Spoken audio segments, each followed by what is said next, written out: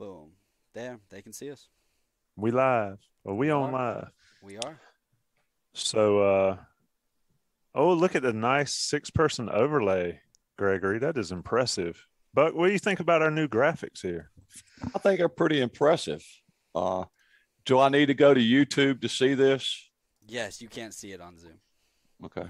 Yeah, so you need to uh, You definitely can't see it. make sure you mute it. Mute mute your YouTube stream if you're here. What's going on, folks? Y'all are listening to us. We're about to get started. Um, what we're going to do is we're going to pick the season like we always have. We're going to do it live, which we've never done. Um, Greg Barnes makes his triumphant return to On the Beat, so um, I'm gonna have to give him a hard time, but he's got me um, in the crosshairs as we can see. But anyway, we ready to go, Gregory? We are. I'm gonna gotta record. You record. I'll record on my end. Let's do it. Nope. You have to record. Go ahead. Recording in progress. There we go. We're ready. Welcome to the Inside Carolina podcast. I am your host, Tommy Ashley. You are listening to On the Beat Live, Tuesday night, 9 p.m. Got a, a rowdy bunch in the Zoom call here and a rowdy bunch on the live chat on our YouTube channel at Inside Carolina. Make sure you subscribe there. You get these alerts when we go live or whenever there's a new uh, item of viewing pleasure put up there. Also sponsored by Johnny T-shirt, johnnyt-shirt.com. They take care of us. They take care of you. They love Jason. Jason is just unbelievably in his Ricky Bobby mode. Uh, I'm gonna get it started, but first I'm gonna go to Greg Barnes because uh, we're gonna get off on the wrong foot, and it was funny off air. So I'll let him explain his um, his decor here, since everybody seems to think that uh, well, I want to thank Buck for creating this phenomenon, but go ahead, Greg.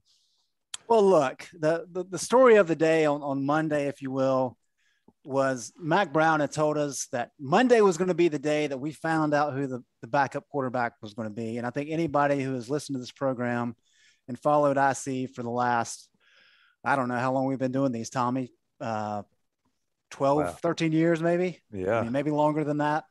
Um, Tommy's always had an inkling for that backup quarterback. So the fact that Mack Brown uh, really did us all a disservice and, and really, um, I think he hurt Tommy not naming a backup quarterback uh, and saying that Drake Maye and Jacoby Criswell were were even. Um, I thought we'd have a little bit of a tribute for, for Tommy tonight since we're celebrating the start of the season. And so uh, I was told off air that you can't really see this list, but this is this is a list of Tommy's favorite UNC quarterbacks over the years.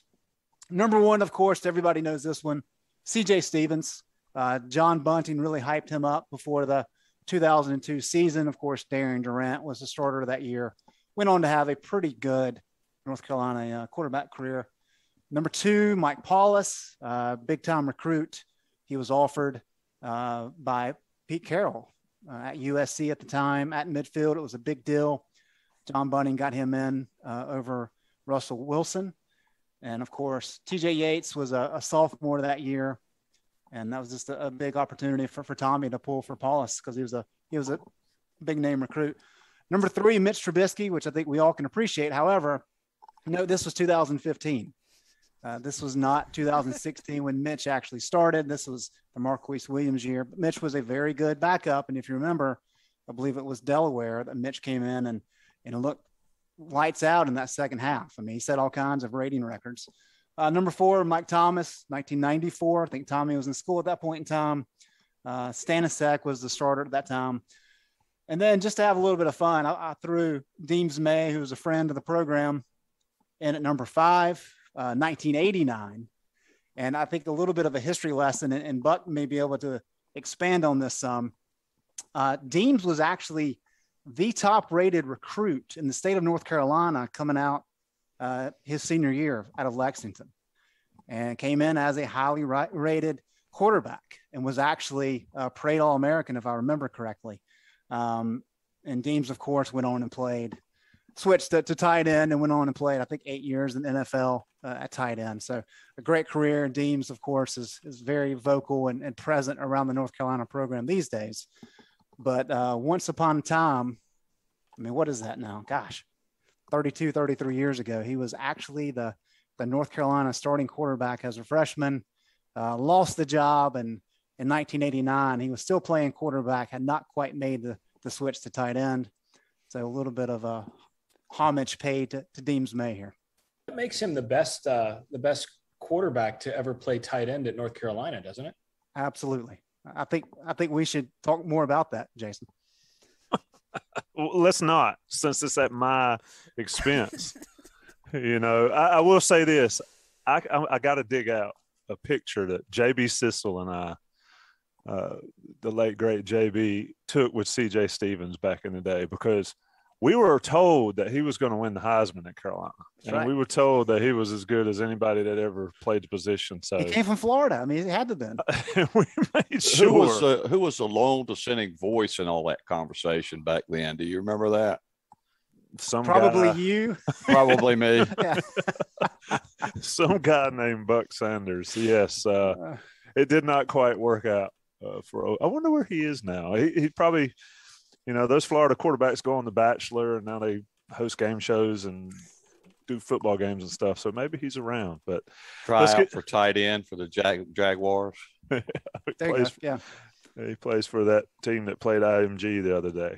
Just goes to show how hard it can be to be a uh, quarterback who plays tight end. Good on you, Deems.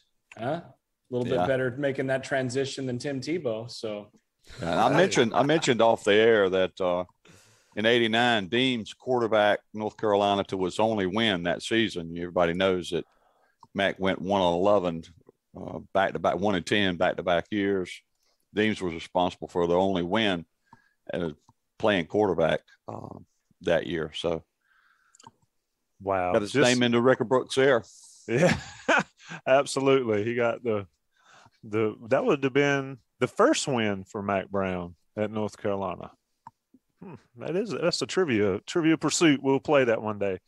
Uh, let's get this thing rolling. This is on the beat. Like I said, sponsored by Johnny T-shirt and JohnnyT-shirt.com. Fun show tonight. We're going to do the predictions.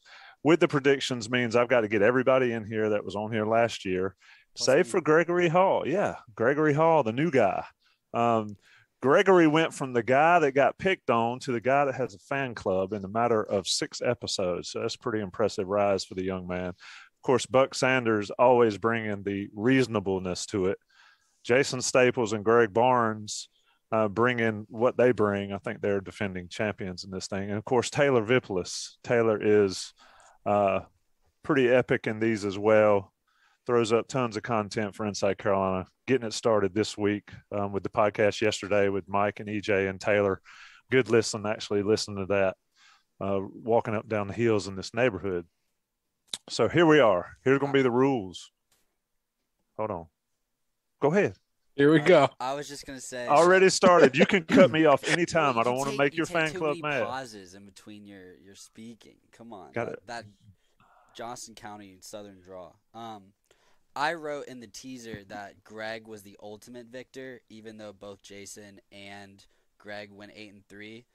That well voted eight and three last year because Greg got two losses correct and Jason only got one. So it's not technically tiebreaker goes to G Biggie down here in my bottom right. And Just Buck got record. both losses correct. Is that is that right, Buck? He That is did. correct. And I, I throw the challenge fan on the challenge flag on the uh, who's the victor here. I mean, we But, can put uh, we can put. I was only wrong on one game. by third. virtue of him calling it a challenge fan, I think that challenge is immediately overruled. Yeah. you know, uh, let, let's take this five uh, box uh, zoom down to uh, four. Uh, box down to five. we uh what's funny is there's only one person that got called out by a defensive coordinator last year and that's greg barnes for his boston college prediction so we'll see who ca- catches that this year i'm sure it's coming from somebody uh quick setup on the rules gregory's going to throw it up on the screen here shortly but we're going to bypass georgia state even though i think they're probably a pretty good team and wofford so we're going to narrow this down to the to the games that we think are questionable here. We probably could throw Duke in that as well, but we'll leave Duke for the pick 'em. So no Georgia State. We're going to raise your hand if you agree that's a win for Carolina. Everybody on the same page. Wofford, everybody's on the same page. So let's get straight into it. You know, there is a reason you play the game. but that's a win. Yeah, if if if if we are discussing those games on the day after pod, uh, I can assure you that we've had major issues um, in Chapel Hill leading up to that one and in the aftermath. So let's go to Virginia Tech, Friday night, six o'clock. Buck, since you are El Presidente, I'll let you start on this one. I know that you and Greg Barnes have a bottle of bourbon on this game. Um, so I'm gonna give you an opportunity to state your case first, and then I'll let Greg follow it as well, and then the rest of us will chime in. Hmm. When when did a bottle of Burma get in uh get into the side bet on this? I I think that North Carolina is going to beat Virginia Tech, but I do not see it as a slam dunk that uh, Greg Barnes uncharacteristically has pegged this game since last year. Um, he's consistently said that North Carolina is going to beat Virginia Tech, and he's going. We're going to beat them stupid. But uh, you know, I think it'll be a closer game than that. But I think North Carolina wins. Greg Barnes, G Biggie. In fact, you need to have a Twitter account, but that's another story because we have surpassed that um, requirement by far. But tell me about Virginia Tech here Friday night.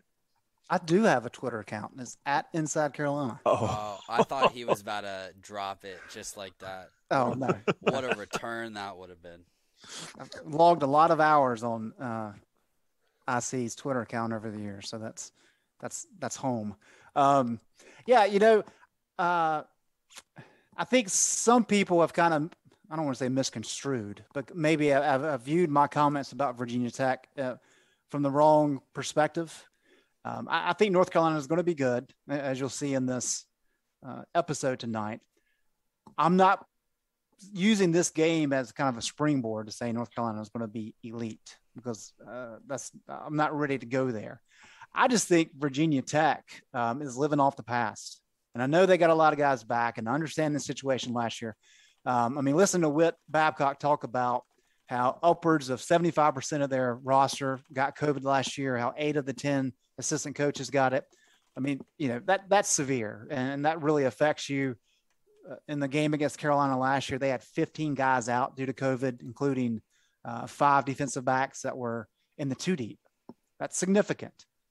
However, the fact that they have lost, have, have, had losing seasons to the last three years, um, Fuente has not recruited well. I mean, that was really the telltale sign for for Larry Fedora. Was once recruiting kind of went sideways, there was no getting it back. Um, and I, I just have a feeling Fuente is following that same footprint. Um, and so because of that, I, I think Virginia Tech is is not one of the more difficult games for UNC. Other than it's, it's the first game, it's on the road. You have the atmosphere element, but team wise, I don't think Virginia Tech is going to be near as good as some of these other teams. And so I've got North Carolina winning this one handily, uh, 41 27. Vip, I'll let So- you go because I know So what Greg has tripled down on his double digits now. two touchdowns. Yeah. I like it.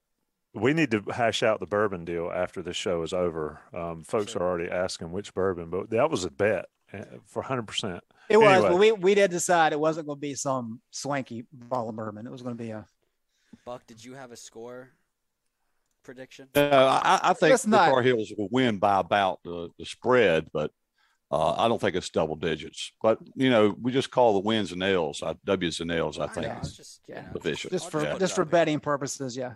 Yeah. What is the spread on that one? I actually haven't seen it. Five and a half. Five and a half.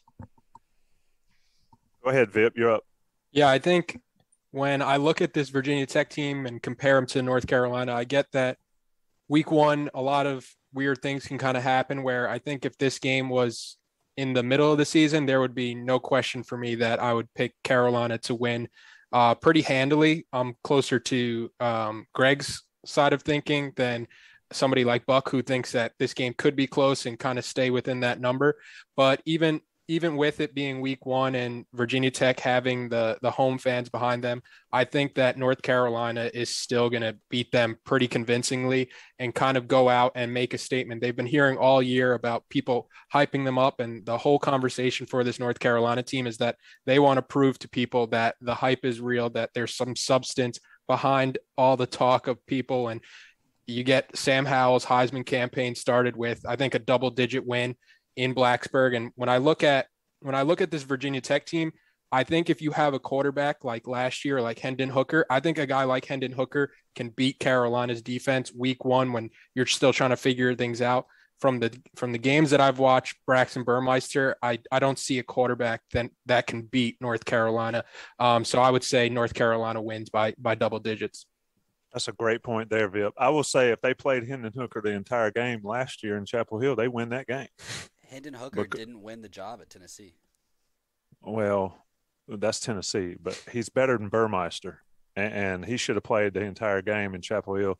Jason Staples, you talk about the environment at Virginia Tech not being what everybody says it is. You've certainly It's been there not. firsthand, but given that it's been a two-year deal without any kind of environment, do you think it makes a difference? And what's your pick?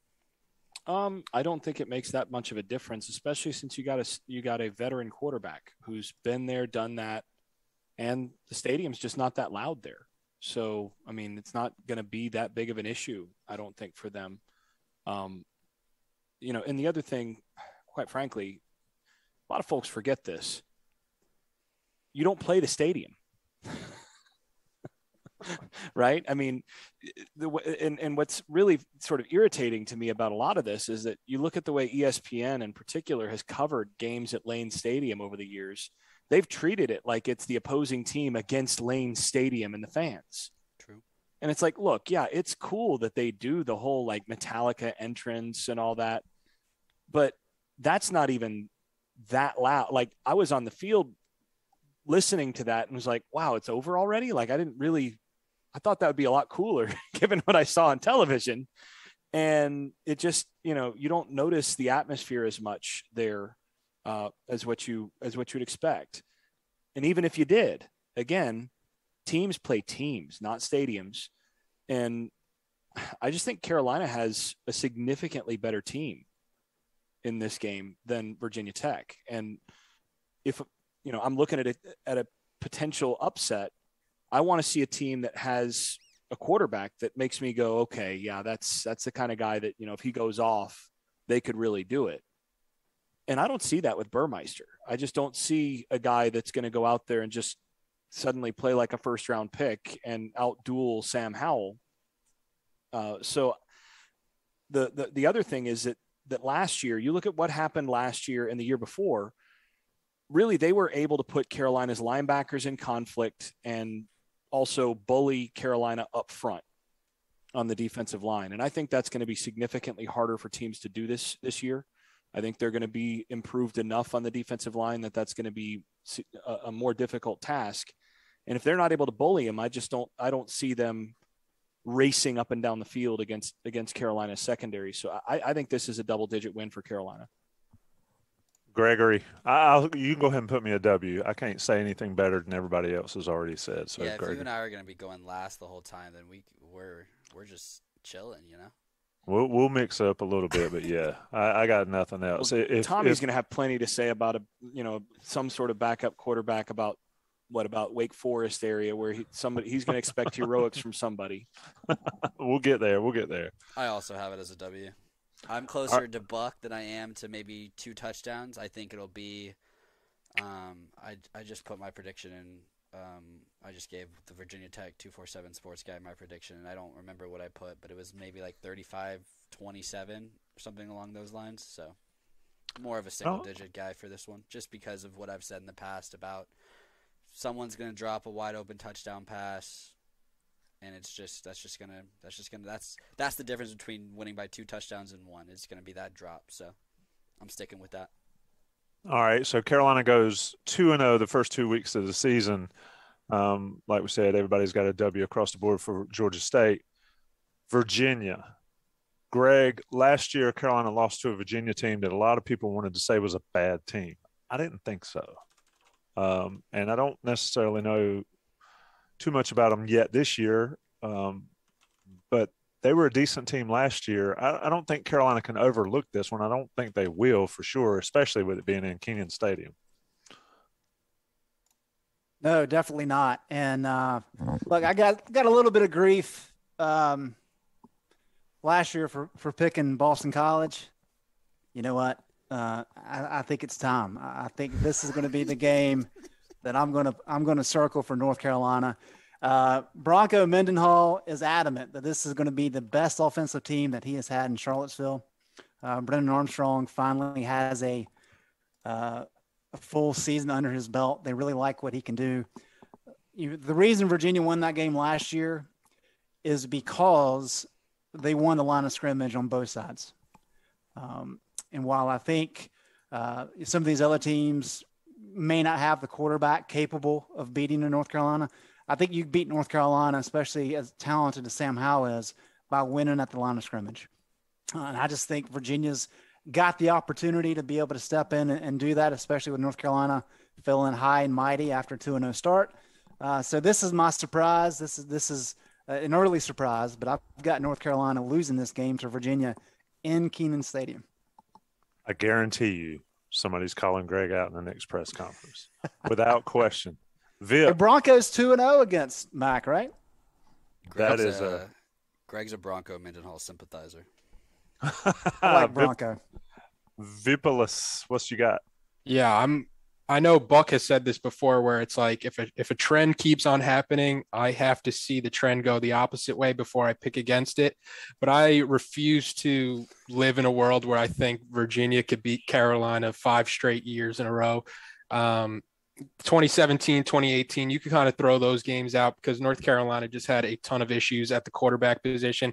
And I just can't see somebody like Sam Howell going 0 3 in his career against Virginia. I think Virginia is a lot better, like Greg mentioned, than people think. Brennan Armstrong, great quarterback. Bronco Mendenhall gets a lot out of all his players. But if Carolina starts the year off 2 0 and they have their ACC home opener against Virginia and they have all this hype behind them, I, I just can't see them losing, and I can't, in good faith, pick Virginia to win that game just because I just can't see it happening. Just can't see it happening. Lord have mercy. If it happens. Jason, what do you think? Dang it, Greg. Oh, here we go. The, if you're if you're new to this on the beat, this kind of stuff, they piggyback on each other all the time, folks. I don't know if you saw me start to shake my head as soon as you said started saying what you were saying. It's like, oh, come on. I... wow. So for those of you who haven't listened to this before, to, to, to this side of things before, you'll you'll uh, you'll not be as familiar with this, but everybody else, you know that when I step into a season, one of the things that I factor in is the uh, it's just a percentage thing, right? So I might expect a team to be the better team in 11 games during that season. But that doesn't mean that I expect that team to win 11 games because you don't win all the games where you're the better team. You have to be the better team by a lot to win all those games because you get bad bounces here or there. Somebody gets hurt in the wrong time. Different things happen. So, what I have always done is take a win shares approach where, you know, I'm, I, I get my idea of what percentages are, are around likely for each game. And then basically allot that to the season. So I've got a number in mind in terms of where I think Carolina is going to finish on the year. And when I look at the schedule, I go, man, you know, I, I think they're going to lose a couple games, most likely, you know, either two or three games based on sort of where they are talent wise versus the rest of the schedule overall. But it's really hard to pick which games are are going to be the losses because they're actually the better team in a lot of these in a lot of these games.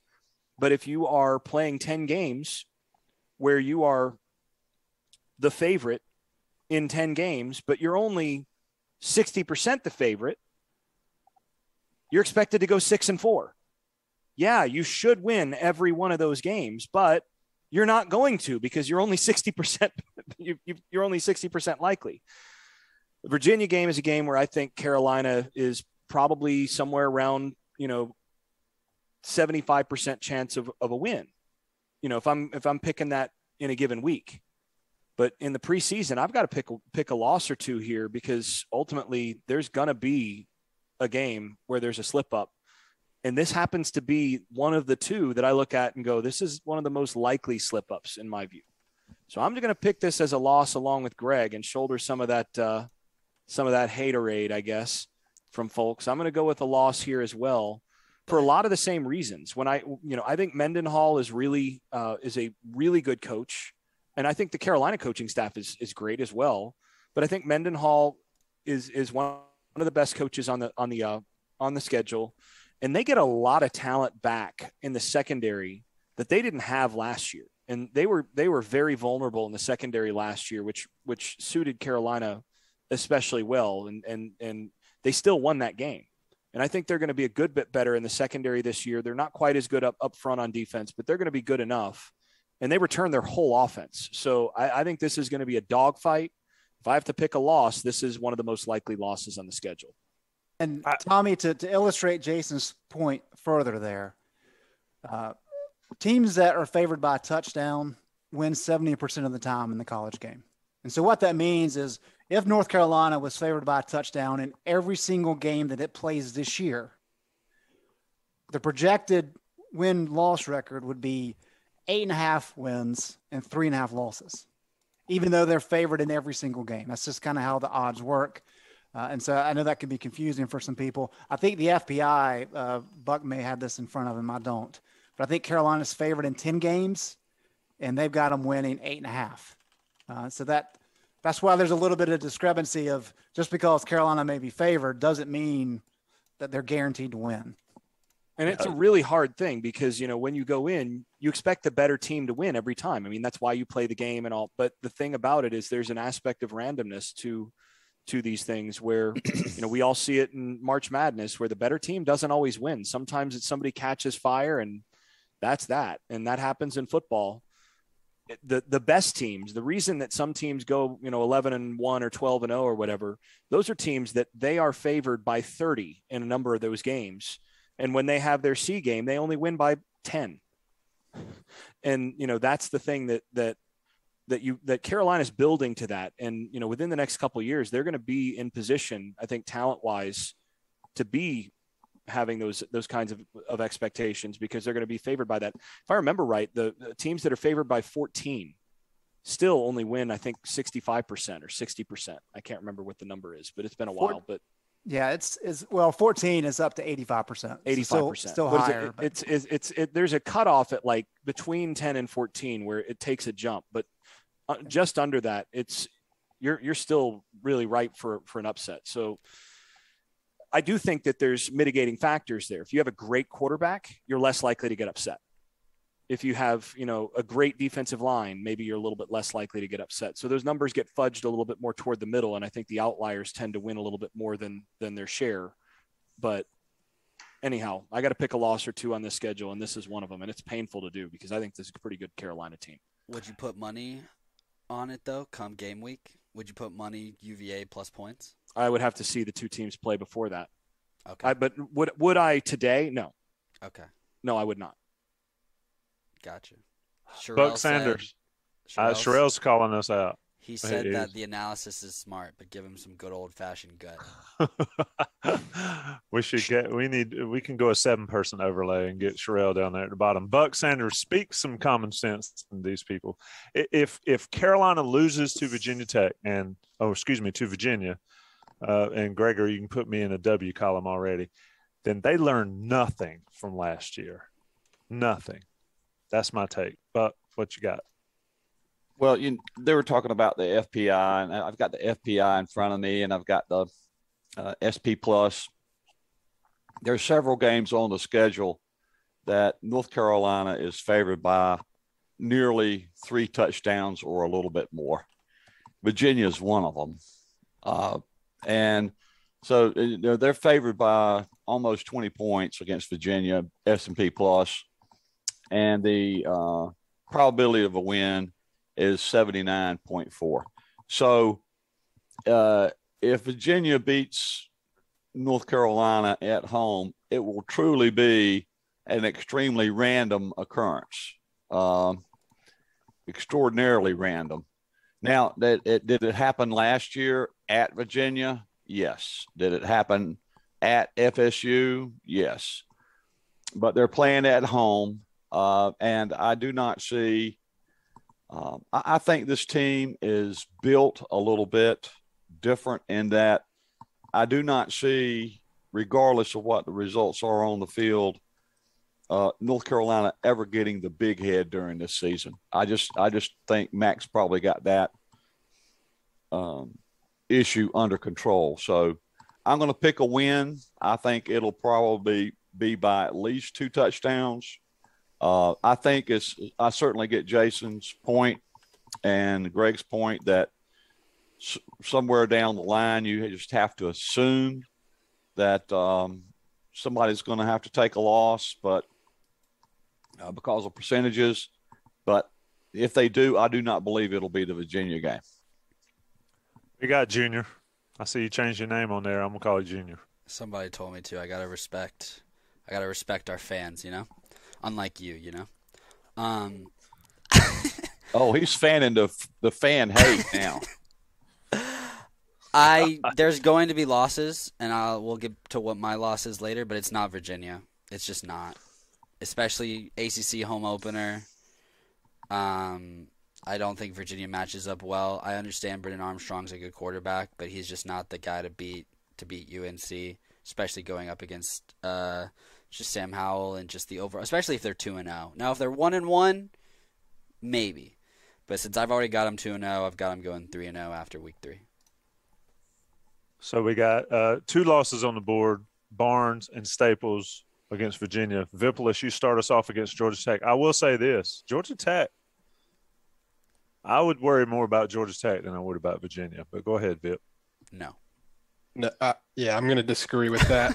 I think Geoff Collins is doing a great job, and I think he he's got them going in the right direction. But North Carolina is still going to be way too much for Georgia Tech in the um, in the Georgia Dome, which is going to be a great atmosphere, I think, for a game. I've I've been in.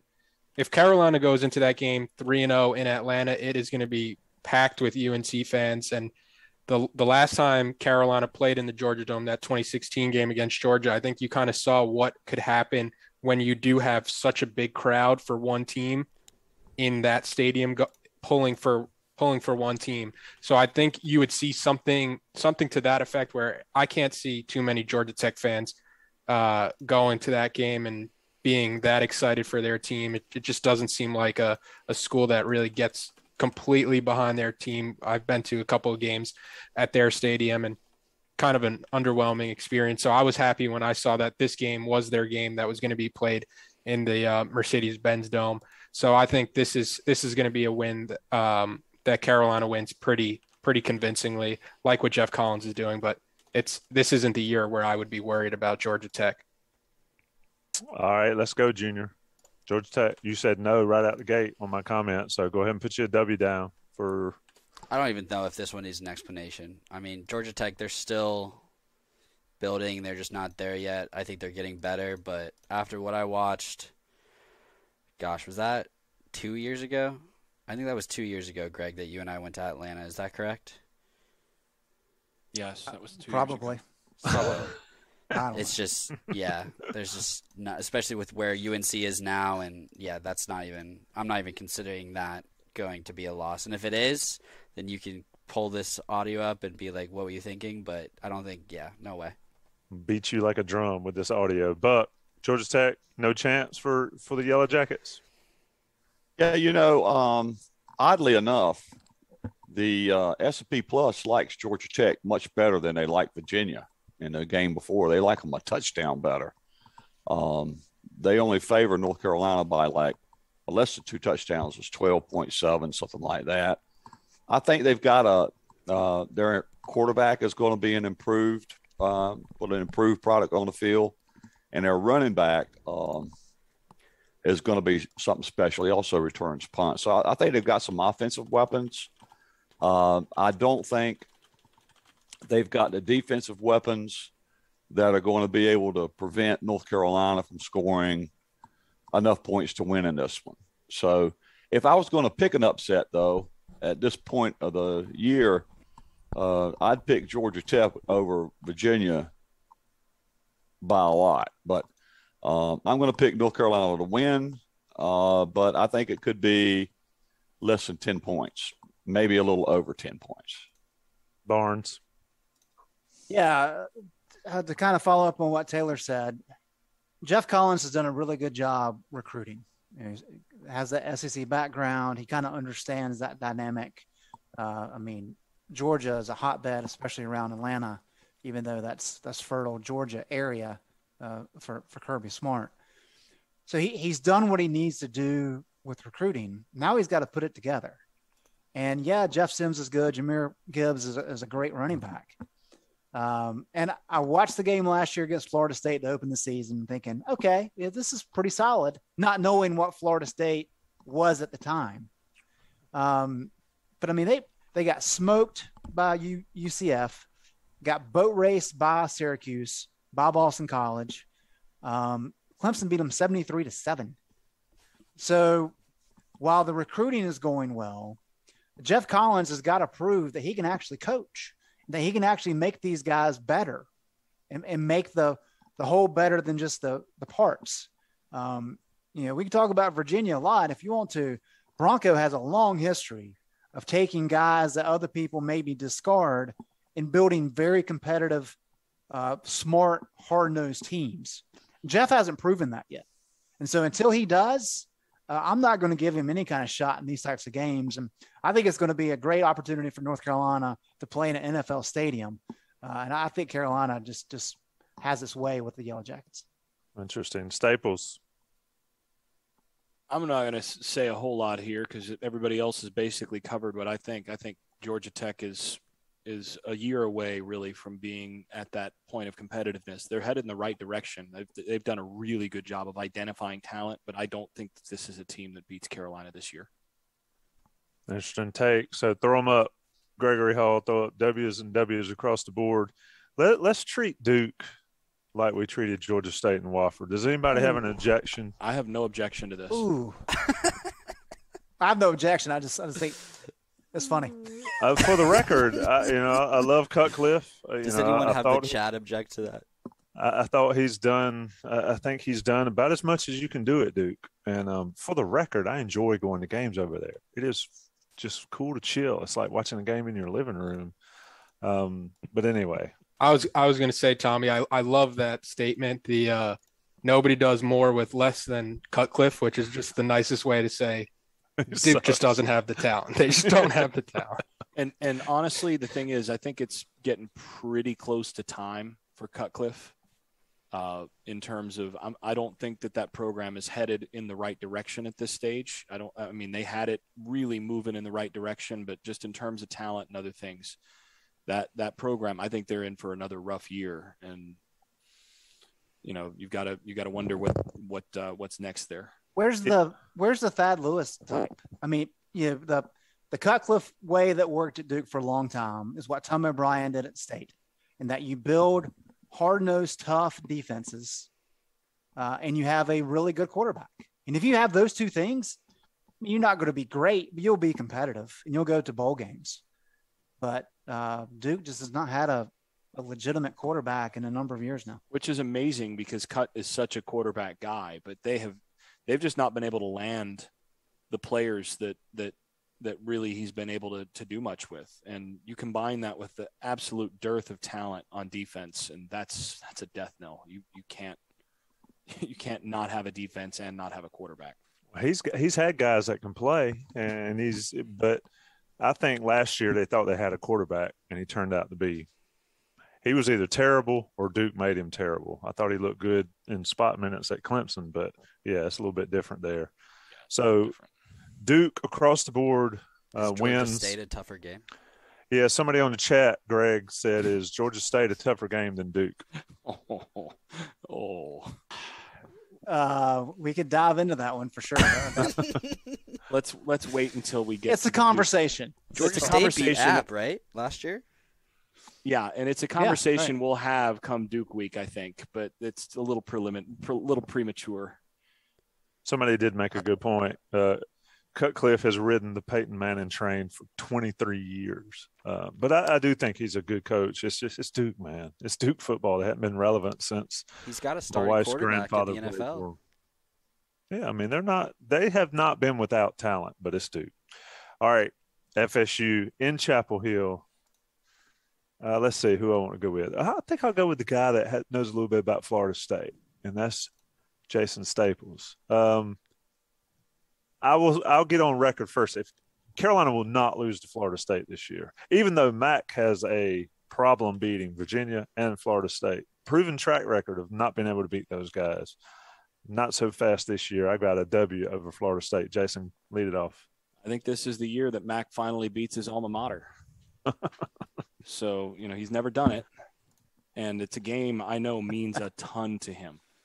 Uh, and, you know, again, a guy that, that, uh, has fond memories of his time in Tallahassee. And, you know, when you have that, you want to beat your team. and, um, and I think that this is the year that, that they're most likely to get that done in Chapel Hill. I think, you know, after the Duke game, they're going to, you know, it's like coming off a bye. Uh, and you know they're going to Wow. have they're going to be they should be fresh. And i think they they match up pretty well with what florida state does. I think florida state's going to have trouble getting to six wins this year uh, given their schedule. I mean i think they're going to be better than they were last year overall. But uh, but i think they're going to you know they're they're pretty they're pretty thin across the board on both lines. And i think carolina's got advantages on the line of scrimmage and at the quarterback position. And normally you take that bet and frankly, last year, Carolina should have won that game. I mean, even even where it was, I mean, they were in position to win the game late. A couple drops at the end don't happen, and they win that game late, despite some huge breaks that Florida State got early. So Carolina was the better team last year. I think they'll be the better team this year, and I I think uh, Mack finally breaks through against his and my alma mater. Vip. I love McKenzie Milton. They still haven't named a starting quarterback, but McKenzie be Milton. Jordan Travis. Yeah, it's You think be so? Travis. Really? He hasn't. I I mean- mean, McKenzie Milton hasn't practiced enough. Well, he's practiced some, but he do, he does still have some foot problems right now, and he's right now more of a. I think he's more of a spot guy that they're gonna they're gonna use.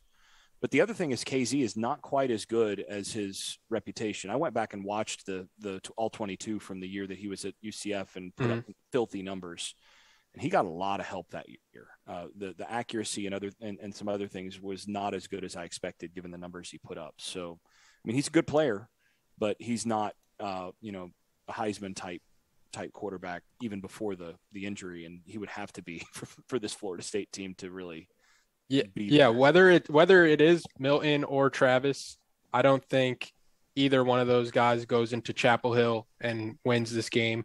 Um, I know Jason could speak to it a lot more, but they've hit the transfer part, portal extremely hard on the defensive side of the ball, just because they really needed to with how bad they are on the defensive side of the ball. So.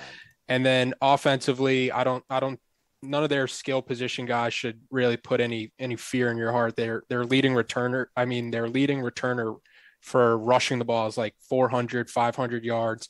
Uh, a lot of unproven guys at the wide receiver position. Carolina's secondary is loaded with a lot of good cover corners. I think you have the factor that this team lost to Florida State last year, adding in. So I think Carolina wins this game and keeps keeps the wins coming. Just a, a number to put out there for you: fifty-eight percent of Florida State's two deep are guys who are in their first or second year with the program.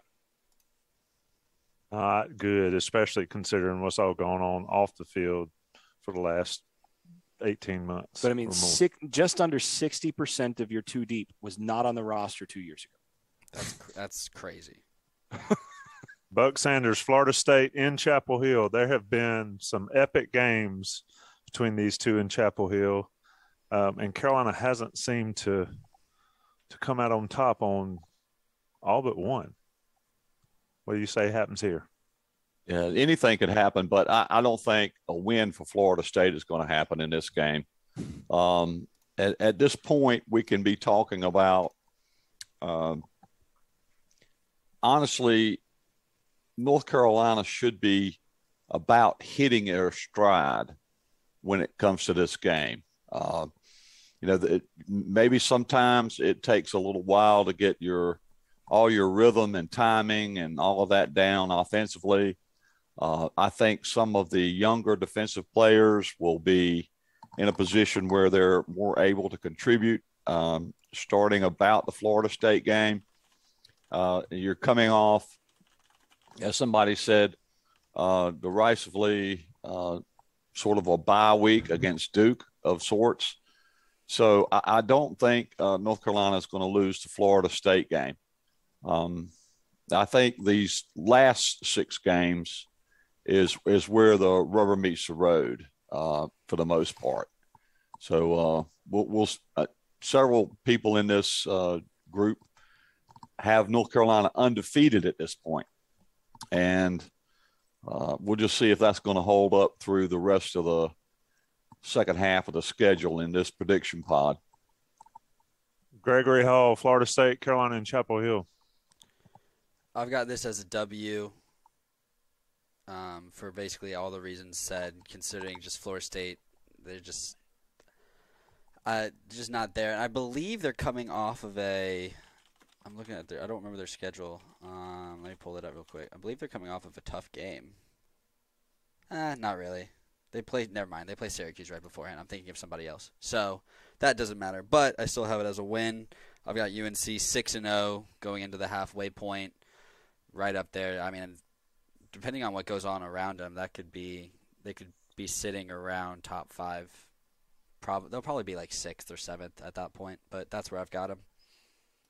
Greg Barnes, does losing to Florida State last year add more fuel or more pressure for Fuel. this game? fuel for sure. You know, as we mentioned earlier, really believe that North Carolina lost the Virginia game because they lost in the trenches, and that Virginia that night was the better team. I think the FSU loss was a, a mixture of nerves and just some some bad plays that went in FSU's favor, um, and that North Carolina should not have lost that game. And uh, so, yeah, I've, I've got North Carolina winning this one pretty handily. I will say though, about I, I hope Milton McKenzie is able able to play. Um, I think that's just a fantastic story if he's able to come back after what he went through.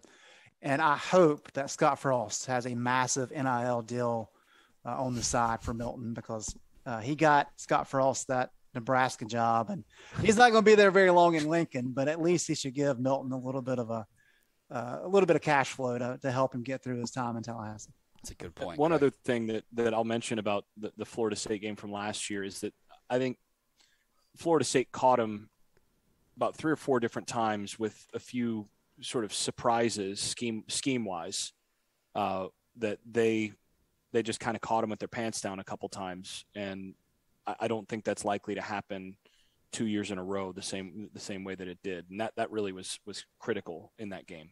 Uh, and you know that was that, that's that's I think what led to Florida State winning that game as much as anything else, and that was on both sides of the ball. They they had kind of circled that game, and there were a handful of plays where they just caught him, and I think this that that's unlikely to happen two years in a row. That was what was interesting to me is that North Carolina team looked completely out of sorts against us, just a bad, bad Florida State team, and I don't see it happening. But this next game that we're going to talk about, and I'm going to start with you, Greg Barnes. I just I find it hard to believe that people continue to put Miami up, you know, ahead of Carolina. Quite frankly, when they're picking the ACC or picking the Coastal or whatever, given what happened last year, I know the players are different. I was not impressed with D'Eriq King against Carolina. Um, he's coming off a major injury. Greg, Miami and Chapel Hill. I will say this: I do not like the schedule for Carolina this year. I don't like the three straight home games in October, and then the the ones we're about to talk about. I think that could have been jumbled up a little better. But third straight home game, Miami and Chapel Hill. It's bound to be a night game. It's bound to be on fire in Kenan Stadium. Greg, how's it shake out? Yeah, and I believe Miami's got a bye the week before, um, which which They do. obviously is a, a benefit for the Hurricanes. Um, yeah, you know, it is interesting that that Miami has gotten as much hype as they have, uh, especially with how Manny Diaz handled the defensive situation in the offseason, got rid of a lot of guys. I think he's the play caller now again. Uh, didn't work out well when he was with Mack in Texas in 2013. Um, I'm still waiting to see uh, how good of a coach Manny is. I, I think to beat North Carolina, as I've said before, you're going to have to be uh, maybe not elite. You've got to be very good in the trenches, especially on the defensive line. Miami lost three defensive ends to the NFL, um, and it's not like this Miami team is quite ready to just uh, replace with other elite guys. Just not there yet. and so I just have a hard time seeing Miami uh, being able to win this game. I, I do think Miami is going to be good. I mean, Miami was good last year. I think the the Carolina game uh, discolors a lot of that. I mean, Miami finished third in the ACC. Uh, I think people tend to forget that sometimes ahead of North Carolina, even though Carolina won that game. Uh, so it's, it's, a good team. I love D'Eriq King. I think that style of play is, is just fun to watch. I think he's going to have a, a, very good year this year. I think the offense is going to be solid. I think Rhett Lashlee, good coach. Uh, question marks with the defense and with how Sam Howell really kind of ate their lunch last year. I think with this game being in Kenan, with meaning so much, I think this will decide the coastal. And I, I think Carolina is going to be able to pull this one out. It'll probably be a close game. I mean, I do think it's a big game. I just think North Carolina has too much in his favor. Uh, Buck Sanders, Carolina and Miami. It's always fun when these two get together in Kenan Stadium. What happens? Well, certainly, I think the Miami game is uh, probably from a standpoint of advanced metrics is the hardest game North Carolina will play this game. That's where everybody's got it at. Uh, the, the, FPI, although they uh, favor Notre Dame by a little higher probability, one game's at home, one's on the road, and essentially they see those games as sort of toss ups. You have to remember, though, what happened against Miami last year. Um, Javonte Williams happened to Miami last year, and Michael Carter happened to Miami last year. They couldn't tackle either one of those guys. Oh no! Um, so, oh, no. um, that's that's the problem there. What what happened? No, it's just it was ugly. Yeah, it was ugly. We're we're talking about. You remember the uh, the the UNC social media team releasing the "Oh no" video of uh, of yeah of Javonte Williams run. working yeah. working through that that Miami secondary. Oh, yeah. Oh, that was, that, was think, that was classic. I think the first play of the game, if folks will go back and watch, the first play of the game, I think Michael Carter got 12, 15 yards, and the announcers were like, okay, uh, all right. And that was the very first play of that game. But anyway, but sorry to cut you off.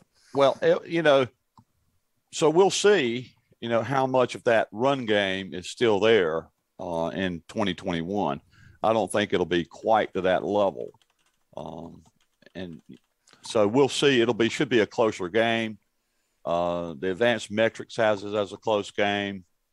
Um, something about playing Miami at night has always been good to UNC for whatever reason.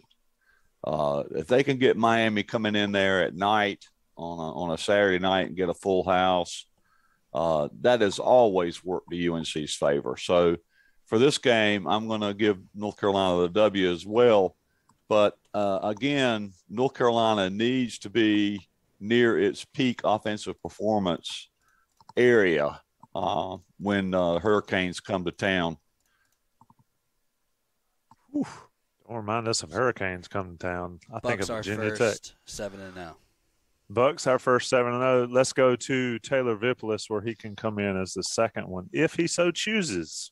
I will join him in that seven and zero oh crew. I his, think this is my Hyatt, from his Hyatt over there. He's at seven and zero. Oh. I think, I think this. If you're looking at that college game day schedule, I think this is a great chance for Carolina to finally host a college game day.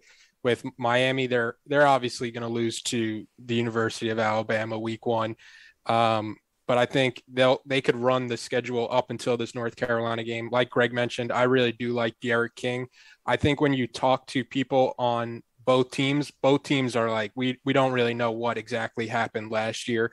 Like I I think a lot of Carolina fans are looking at that game and being like, this is how this series should be going. But I think these two teams are a lot closer. One stat I saw, Manny Diaz after a bye, one in four so having a bye is great. I agree. Having so coaches that know what to do with a bye is even better. So I'm I'm not somebody who believes in Manny Diaz. Um, I think every year people are going to hype up Miami, but the, the the days are long gone when Miami comes to town and the other team across from them is is afraid of them or backing down from the trash talk. This is this North Carolina team. Like if they had to choose one game on the schedule that they're really looking forward to play, it's that Miami game. They they love the big lights. They love the opponents thinking that they have some kind of mental advantage just because of a U on their helmet. They love throwing down the U, um, much to this the dismay of every Hurricane fan. Um, but I think I think this North Carolina team keeps the ball rolling and they win. They win uh, home against Miami. Do we think Miami's a top 15 team at this point? I think Alabama's going to destroy their season. Yeah, just but I like don't they think did that- Florida State. I don't think that'll destroy their season. I mean, Alabama's supposed to win that game. Well, Florida State, because Florida remember- State has not been the same program since Alabama destroyed them. Well, they didn't, and the thing is, they didn't destroy them. What happened is they they hurt Florida State's quarterback in that game. Florida State was actually in position to win that game in the third quarter, and then turned it over. Alabama scored, and then turned it over again, and their quarterback got hurt, and that was the season because they didn't have any quarterback depth. Now, where the where Bama could end Miami's season is Miami similarly is dependent on one guy at quarterback, and that's the real question. Is is D'Eriq King healthy at this point in the season? Injury prone too. Well, he runs the ball so much. So, is he going to be healthy? you know, I, I also I think people ought to be aware. Miami gets a lot of ink, no question, and maybe more than they deserve. But from a talent perspective, um, they've got two five stars on their team and 42 four stars. They've actually rebuilt some talent there. Uh, you know that they almost uh, North Carolina, I think, has 27 four stars and two five stars. Uh, but in terms of talent, you know, uh, they've got a ton of- of ability down there in South Florida. They're in a you know, recruiting hotbed. Everybody knows that. And they're going to get most of the great talent coming out of South Florida. So it's not as though, and I think, I do think that, and again, the jury's out on, on Manny Diaz, but Miami long term uh, and even midterm, short term, if you will, poses the greatest threat to North Carolina in, in terms of North Carolina building some separation in the coastal division um, over its uh, coastal division foes. So, uh, but they, they've got talent down there. Don't don't get confused about that. Uh, I've got Carolina beating Miami. Jason, what you got? And this is this is a really tough one for me because, again, I'm searching for L's on this schedule. you know, that's a that's a big part of this, uh, and it's hard for me to pick Miami in anything for certain reasons. And I also know that um, Mack Brown is Manny Diaz's daddy. I mean, that's just been the fact. And you look at what he did to Manny last year. You know, Mack Mack clearly knows something about how Manny's def- about something something that Manny doesn't do right because of his experience watching BYU put up like 400 plus or it was close to 500 rushing yards on his Texas team when Manny was defensive coordinator there. And last year, Mack got his comeuppance and saying, "You see how that feels when you're the head coach and somebody does this to you." Here's the problem, though, is that I don't see Javonte Williams and Michael Carter on this on on this Carolina offense to do that. I think Miami is going to be better prepared for that. I've got to search for an L on this schedule, and I think this is maybe the most likely talent-wise on the schedule. Uh, so all that said, I'm gonna I'm gonna go with this as another loss for Carolina, even though it's very painful for me to do so, and I'm kind of working against my nature, both for uh, both in terms of coaching matchup and in terms of you know certain things built into the genetic code. But uh, I'm, I'm going to go with Miami to win this game, it, but close. Uh, Gregory Hall. Coastal chaos. I've got UNC, Pitt, and Miami all in this like jumbled up scenario this season. So I've got Miami l- winning this game. Gregory Hall with the L, a red L for Carolina on this. Uh, here we go. And This there was is- three. This is the. Uh, I've got a lot of pressure on the YouTube chat. We've got yeah, I'm everyone in the starting to feel it a YouTube is bit. chanting for twelve. starting to feel it a little bit. Uh, you know, looking at the first seven weeks of the season prior to the bye week, Jason Staples has got Carolina losing two at home in Kenan Stadium. I don't see it happening. I Uh, I would love to not see it happen. I, I just think eh, away, yes, I'll give you that. And we're about to get to some important away games. Um, but we're going to bye week. So for the bye week, let's ask a question. And I'll ask uh, Gregory, no, I'll ask Greg and Jason this. And Vip, you can chime in as well. Recruiting for Carolina. Mack Brown's been rolling in the recruiting. What position does he really need to recruit more and better to keep the trajectory going up? Greg Barnes. I think we're, we're looking at kind of a mirror image of, of what happened in Mack 1.0, right? And that the reason North Carolina was not able to topple Bobby Bowden and Florida State in 96 and 97 because he didn't have the offensive line. Now, he, he didn't have Sam Howell either. Uh, Mack knows how to recruit defensive players. Um, and if you look at the talent coming in defensively, they're going to be a okay. And when you've got quarterbacks like Criswell and Drake Maye and Sam Howell, you're doing pretty good there with the scheme that Phil Longo has. Uh, but I think it's offensive line. And if you look at some of the metrics, uh, one of the uh, IC subscriber uh, premium board guys, uh, he's going to kill me if I don't get his username right, but Tar, what, Tar Heels 44 maybe. Uh, he does a lot of these data compilations with recruiting, and they're fantastic. I, I recommend you checking them out on the premium board. Uh, but it's a pretty stark discrepancy between basically every position and then offensive line.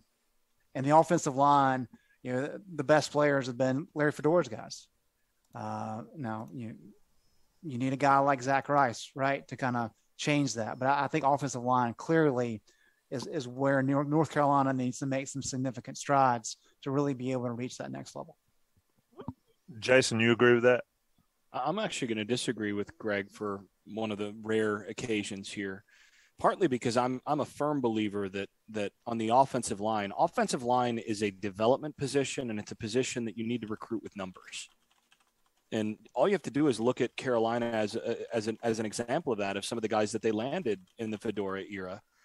If you'd blindfolded all of us and you know we hadn't been able to see the last couple years and we knew base we knew who those recruits had been. We were just told these are the offensive line recruits that have been brought in. Here's what they were ranked in high school and all of that. We would be thinking that this year Carolina would be coming into the year with a potential All-American at on the offensive line named Barnes. Because that's the highest rated recruit they've they've landed on the offensive line in years. And yet he's like the seventh or eighth guy on the offensive line. It's just taken him taking him a little longer to develop, and he may still pan out into that kind of player, maybe.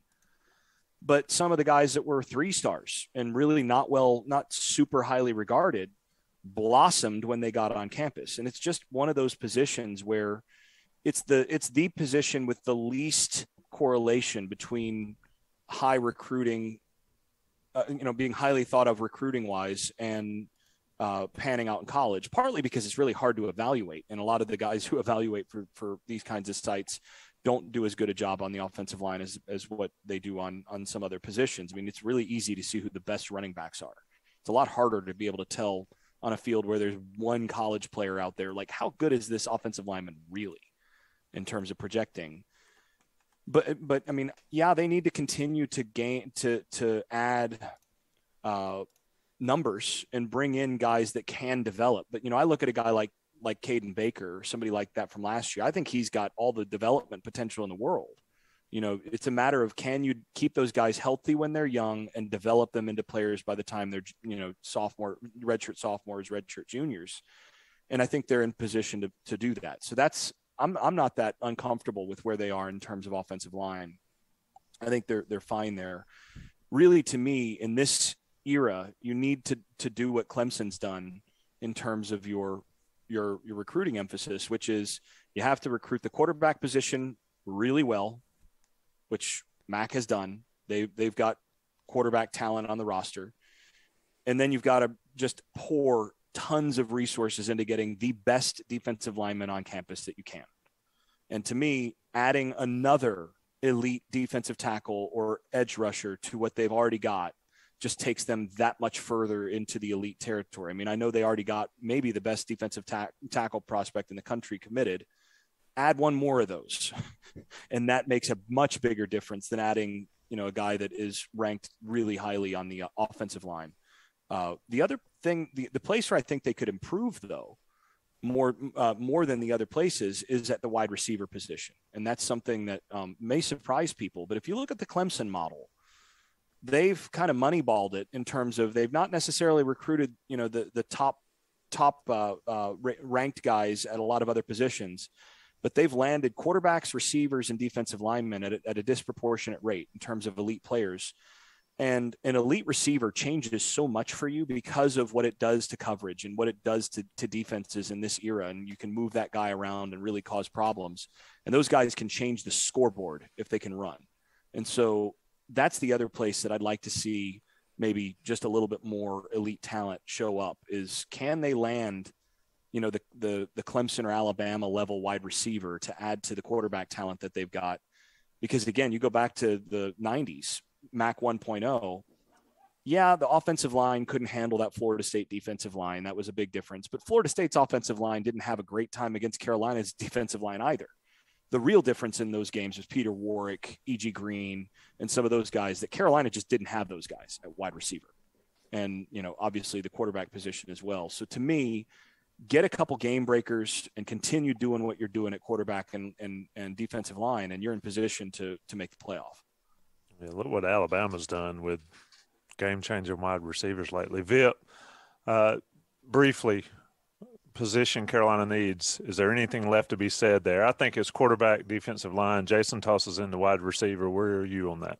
Yeah, I would go quarterback and defensive line. You just look what Clemson does. Like Clemson is the model where you go from Tajh Boyd to Deshaun Watson to Kelly Bryant to Trevor Lawrence to now DJ. It seems like, and the same thing with Alabama. Like, when was the last time eh, you saw an Alabama quarterback go out on the field and you're like, oh wow, Nick Saban really missed on this guy. It's like every year they're churning out like the best of the best at quarterback and then along the defensive line. So I would agree with Jason with what he was saying there.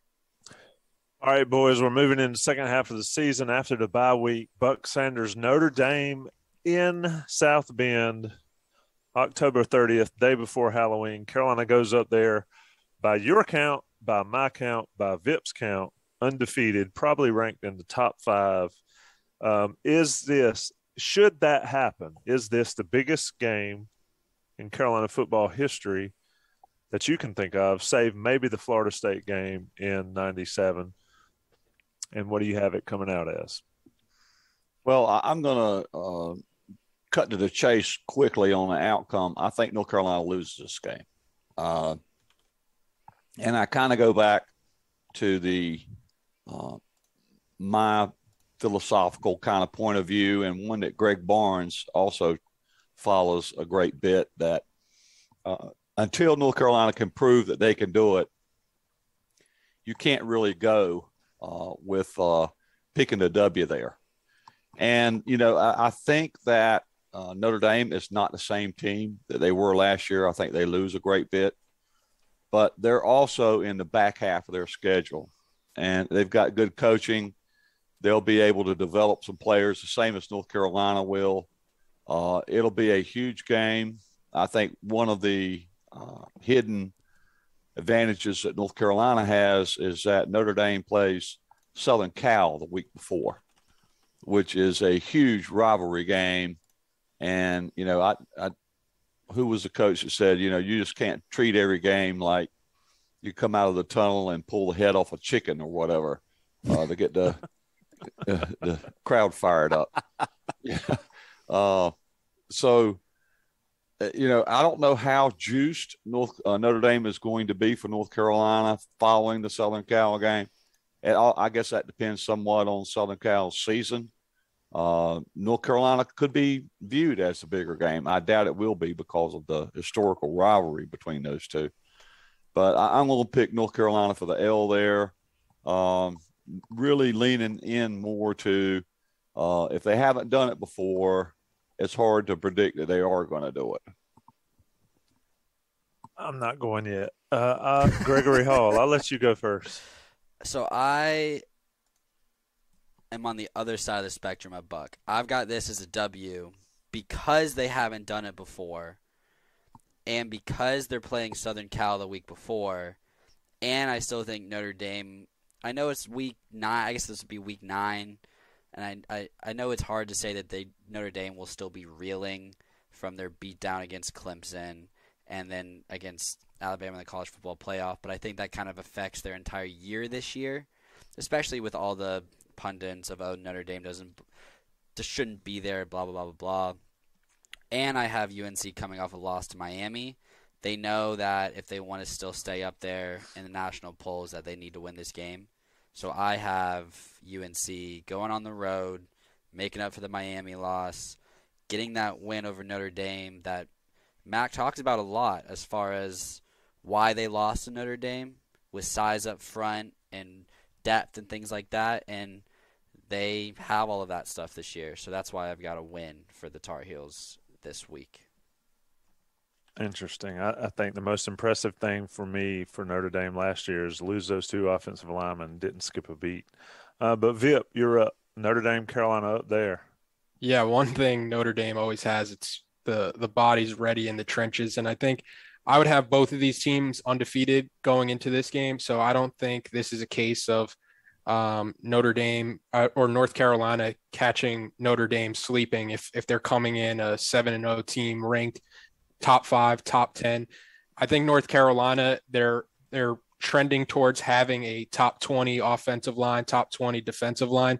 But I think that no matter who Notre Dame kind of plugs in right now, that Notre Dame is going to be right there. Now they're replacing Ian Book, who I loved Ian Book at um, Notre Dame. They got the, I think the Wisconsin transfer, Jack Coan. Um, I just, I just see this being a loss for North Carolina. Um, so yeah, I'm, I'm getting off the, the oh, W no. train, but I think this is going to be a, a, really tough game. I really like, um, Notre Dame's running back, Kyren uh, Williams. He was a, a Doak Walker uh, semifinalist last year. I think he's going to be uh, a Doak Walker finalist this year. He's he's just as good as any running back in the country, and I think we kind of saw that last year where he he rushed for well over 100 yards against Carolina. That's 23, right? Isn't he 23 for Notre Dame? He uh, right. he played great last year in this game. Yeah, he uh the one thing about Notre Dame is Book was just ridiculous against Carolina last year. We'll see about the Wisconsin transfer, but I'm not going yet. Greg Barnes, Notre Dame, Carolina. A lot of pressure on Tommy with this. I'm, thing, I'm extremely. The chat big. gave him too much power at this point. I think I'm being threatened. Choose where he goes um, stuff. yeah, I think I think Vip and, and Buck uh, pretty much laid it out there. The fact that Notre Dame lost 14 players who signed NFL deals is staggering. But Brian Kelly has been there for a very long time. He's stockpiled talent. Um, and, and just like we saw with the offensive line deal last year, they can just plug guys in. And the fact that we are talking about a game that's going to occur on Halloween weekend, they're going to have plenty of opportunities to kind of get these guys ready to play.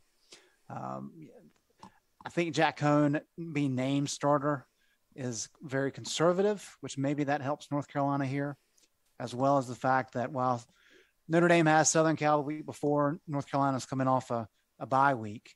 Uh, so that that's a dynamic there that's that's worth looking at. Um, but I just think I think this is going to be a tough game for North Carolina to win on the road. Oh. This is this is going to be very important uh, with the college football playoff race. This is going to be very important with the New Year's Six bowl game situation. Um, and I, have got this as North Carolina's second loss of the year. Y'all suck. Is, is anybody going to agree with me? I'm going to agree with you. Look, Carolina coming off a bye week, they've got to be healthy going into this game. I, I think that, um, of course, at this point in the season, nobody's truly healthy. But I think this right here is why Mack Brown came back to Chapel Hill. I don't think it's relevant to Carolina's, uh, maybe even Carolina's playoff stuff if they're undefeated and they lose this game. Um, because they still got to beat Clemson in the ACC championship. But I think Carolina goes up there. Carolina should have beat them. Was it 14? Roughing the snapper, snapper, when Carolina yeah. was not a good team. Uh, I mean, y'all were all right. Sorry, Vip. y'all weren't Notre Dame good, and still couldn't The get it defense done on sucks. back- The offense Yeah. was good. Yeah, I, I, I mean that they Carolina should have won that game. I think this year, assuming everybody's healthy, and I know that's a big caveat, I'm going with a W. For one, I'm gonna be there. For two, I've got Notre Dame friends that I'm tired of hearing from um, every time Carolina plays. And three, I just think this is the game Mack Brown's built towards. Uh, winning Carolina winning on the road on it doesn't get any better. People can talk about what they want about Notre Dame football whatever you want to say, they deserve see uh, playoff berths or whatever. Notre Dame is the college football team uh, aside from Alabama, and Carolina goes up there to South Bend in front of everybody and touchdown Jesus and gets a W to go what eight and zero at this point in the season. Tommy, I I've- might have to clip that for socials. That was That was a good rant. That was a good. That was. I also was going to say I have uh, I have no problem with you saying it was a, a bad football team after seeing ECU put up 70 points in Greenville.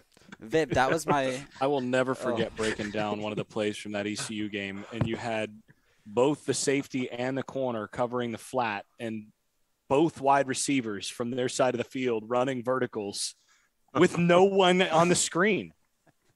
Was that third and thirty-one and it, or fourth and thirty-one went for like fifty and a touchdown? Anyway, oh my gosh! Jason, s- stay in the moment. We got a prediction. You you're still up for Notre Dame, Carolina, up in South Bend on Halloween Eve. It's been a lot of great points so far.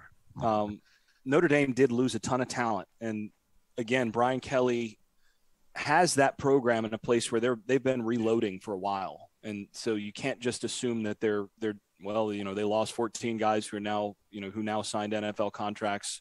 That's a win, but I think Carolina wins this game. So, uh, and and the reason for that is I, I think Tommy, you're right in that this is a game that, in terms of building towards stuff specifically with what they've got on this roster, I look at the matchups here and I go, you know, what did Carolina competed with Notre Dame last year with a better Notre Dame team? Big time. And what was it that they just couldn't get over the hump with against that Notre Dame team? They couldn't stop the run because that that set of offensive linemen, which was one of the top two offensive lines in the country, dominated the line of scrimmage against a, a significantly undersized and banged up North Carolina defensive line. This is the game at this point in the season coming off the bye week, which I think is important, not because Carolina is going to be healthy, but because that allows you, it's the bye week. And I've preached this for a while it's the bye week, the midseason bye, where you can actually start to get your young talent that's kind of been repping a little bit in practice and all of that. And they've gotten some reps in the game, but they've not been quite ready. It's after that bye week that you see the young talent really start to be able to play for a team. This is the game where you start to see somebody like Jahvaree Ritzie come off the come off the bench and make a couple plays. This is the game where some of that young talent on the defensive line, and you look at a guy like uh, Des Lawrence on, the edge. You look at those guys, and that's a different Carolina defense up front at this point in the year, with the depth that they've got, being able to trot out a bunch of 300 pounders against what Notre Dame likes to do. And Notre Dame, see, Miami likes to spread you out, and they'll try to run on you, sure, but they're gonna they're gonna make you put smaller personnel on the field and then try to run on you that way. Notre Dame wants to get into a phone booth and, and bludgeon you. And I think this North Carolina defense is actually going to be pretty well equipped to handle that aspect of what Notre Dame does.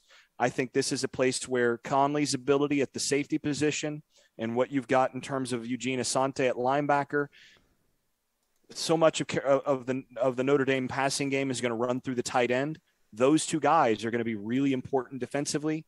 I think Carolina is going to be able to slow them down, and I think the other big question mark right now in in in uh, in uh, South Bend is the cornerback position. Well, Sam Howell, and by that point, you should have a pretty established and healthy set of wide receivers. I just think matchups matchups wise, and in terms of other things, this is the game that I think uh, Carolina can come in and make a statement and win this game. Jason, do you think Tomon Fox gets a snap at defensive end in the Notre Dame game? I think he gets snaps on the edge at that outside linebacker position, which is what I would call the true end. But he ain't going to be getting snaps up, you know, lined up Right. uh, between the guard and the tackle like he did last year. You're going to be seeing a guy like Ritzie and other guys in that spot at this stage of the season, and you're looking at a 40 pound difference. It just it's you can't you can't really. It- It's hard to overstate how big of a difference that is defensively, and and I think Jay Bateman is going to earn his every bit of his paycheck in this game. That's Yeah, why I and have Tommy- UNC winning. Tommy, I want to add this this comment in just because it's relevant to what Jason just said.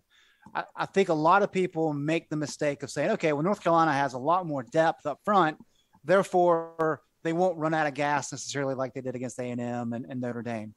Um, and I asked Jay Bateman with regard to you know, defending running quarterbacks, for example, if just having more depth helps solve that issue. And he made an important point that not necessarily more depth helps, but you still have to have guys that are able to set the edge. You still have to have guys that can get into the gaps and really create uh, confusion, really create uh, one-on-one situations that they can win to be able to stop a running quarterback, to be able to stop the run in general. Um, and so the depth helps. But what really helps more than the depth is having more guys that are capable and who have the talent to make these types of plays. So there's there's a distinction there that I think is important. Yeah, it's quality depth. That's the Right. difference. It's not just more bodies. When you're adding guys like Ritzie to that to that mix, and those guys are getting on the field, that changes your talent complexion. The other thing that really helps them here is again, Ian Book made plays with his feet last year when they were in position that I don't think Jack Coan. I mean, look, Coan may be a better passer from the pocket. I don't think he's going to be making those kinds of plays. So, you know, the kinds of stuff where you have to deal with a running quarterback, it's a different team. And I think this Notre Dame team is going to have a few extra losses this year, even though they're going to be a good team. And I think one of those losses is going to be to Carolina. Mm-mm-mm. Wake up, Vip. Wake Forest comes to Kenan Stadium. Another Wake up. not yeah. You like that? Wake up, Wake Forest. Vippolis non-conference game. Uh, still weird to me. But what do you think about this team coming? I, look, I like. I've always liked Wake Forest football for some reason. I've always thought they were pretty good, and they beat up on the team in West Raleigh, which is always enjoyable too. But West. Wake and Kenan. Yeah, I think I was the only person who picked Wake Forest to win last year, and I remember And thinking rightfully so. halfway through that third quarter when they were up by 21, it wasn't looking like that bad of a pick all of a sudden. That I remember getting a lot of flack. I think Sam Hartman is a quarterback who can go into, um, who can go into an environment and win you a game. I think he is a good quarterback. He doesn't have the the wide receivers that he might have had last year or the past two years with um, Washington and Surratt, but I think overall he is a good quarterback, and that's that's mostly what I'm looking at when I'm picking teams. Is do I think this team has a quarterback that can will a team to victory? With that being said, I don't think North Carolina loses to Wake Forest. I think North Carolina has a, a huge talent advantage over Wake. Um, so I think North Carolina, after losing to Notre Dame, I think they get back on the the winning track. Wait a minute. Sam Hartman's still at Wake Forest. I, I freely admit I do not research teams until a couple weeks before. Is he still there? Yeah, I mean, that guy's Yes. been there like He's he's like there. You just said like- you love Wake Forest. I We're do gonna love have- him, but I, it doesn't for matter who this- plays quarterback. We're going to have this conversation for a few more years too, because that COVID-free year is going to completely change the the the impression of how long certain guys have been. I mean, you're going to have six-year guys all over the place at different places, and Wake will be one of those. That's a that's a foreshadowing. Let me just sneak that in there. A foreshadow. Buck Sanders, Wake Forest, and Carolina. Yeah, I think Hartman is still throwing passes to Michael Campanaro. Uh, Over the middle. Over the middle. I think he just scored another touchdown. And Uh, I will guarantee you that one receiver will not beat Carolina. Yeah, How long's that been? Five, it's been six a- years ago. It's been a while. Hartman's Uh, going into his redshirt sophomore year again. Yeah. Well, in, in any event, uh, I, I don't think that uh, North Carolina loses to Wake Forest this year at home. Uh, so I'm gonna, just going to give them a win, and I don't really know um, how much I need to more I need to say about this. Mack Brown has always placed a huge emphasis on beating every in-state team Mhm. that he plays, and and I think he will it's Wake Forest, and maybe they're not the biggest threat on the uh, schedule, but he'll he'll have the Tar Heels ready to play them at home, uh, back end of the schedule. Jason Staples, is this a trap? This is a trap, and this was this was bet- it was between this one and the Virginia game on which ones I which what my choice for that sort of upset loss was going to be on the schedule, and and part of the reason for that is uh, Clawson has been pretty uh, adamant behind the scenes that this is the best team he's had at Wake Forest. He really thinks this is a good team. So, I mean, I've been I've been turning over whether I should flip that Virginia pick or not ever since I said anything. I'm going to stick with it, and I'm going to go with this being a, a, win against Wake. But this one's one. This one's one I'm worried about as I go into the season, and it's it's a it's a tough one for a lot of reasons. And again, I'm really tempted to flip my Virginia and Wake Forest picks because again, this is a this is a trap situation after what I think is going to be a highly emotional road win and then you come back into this and it's it's Wake. But it's also an in-state team, and I think you know the the talent differential is going to be pretty good, and I think they'll they'll they'll be able to uh to come out on on on top there. Gregory Hall, W. Greg Barnes. Uh, I agree with a lot of the the concern. Uh, I mean, the fact that the Wake has so many players back. They had I think 19 starters back, and then two of the guys got hurt season in injuries. Uh, but to have 17 guys back, including Hartman, you, if you're going to beat North Carolina, you've got to be good in the trenches and you've got to be good offensively, and then that starts with your quarterback. And I think Hartman's a legitimate quarterback. Uh, they do that that lovely mesh, extended mesh that everybody loves. So we'll get to see that again. Uh, that was effective for for most of the game last year. Uh, yeah, I'm a big Dave Clawson fan. I think he's a great coach. I agree with with Vip. They you know the, the talent discrepancies is too much at this point in time. Um, Wake Wake can win this game. Uh, you know, somebody asked me earlier this week about a potential trap game coming off Notre Dame. This would probably be probably be it. Um, and so there is concern here, but I, I, think North Carolina, with this being a home game, uh, the Tar Heels take care of business. Drum roll yeah, for TA. Yeah, and uh, Taylor Taylor mentioned about the the redshirt sophomore again for Hartman it just reminds me of that classic quote from PCU, which I think is 30 years old now. But Jeremy Pivens mentions that you're back in his third sophomore year. Uh, he had done something. This is great. They ain't losing the Wake Forest. Put a W up there. At Pitt, though, concerns me. Uh, Ooh. You know, they've got, what, a sixth or seventh year starting quarterback here. I love Kenny Pickett. Big Kenny Pickett guy, too. Uh, See, Vip, Vip okay, Vip. What's up? Lead it up, Vip. Pitt, at Pitt. Uh, Pitt is. I feel like those Thursday night games at Pitt, they're always weird. Pitt is always tough.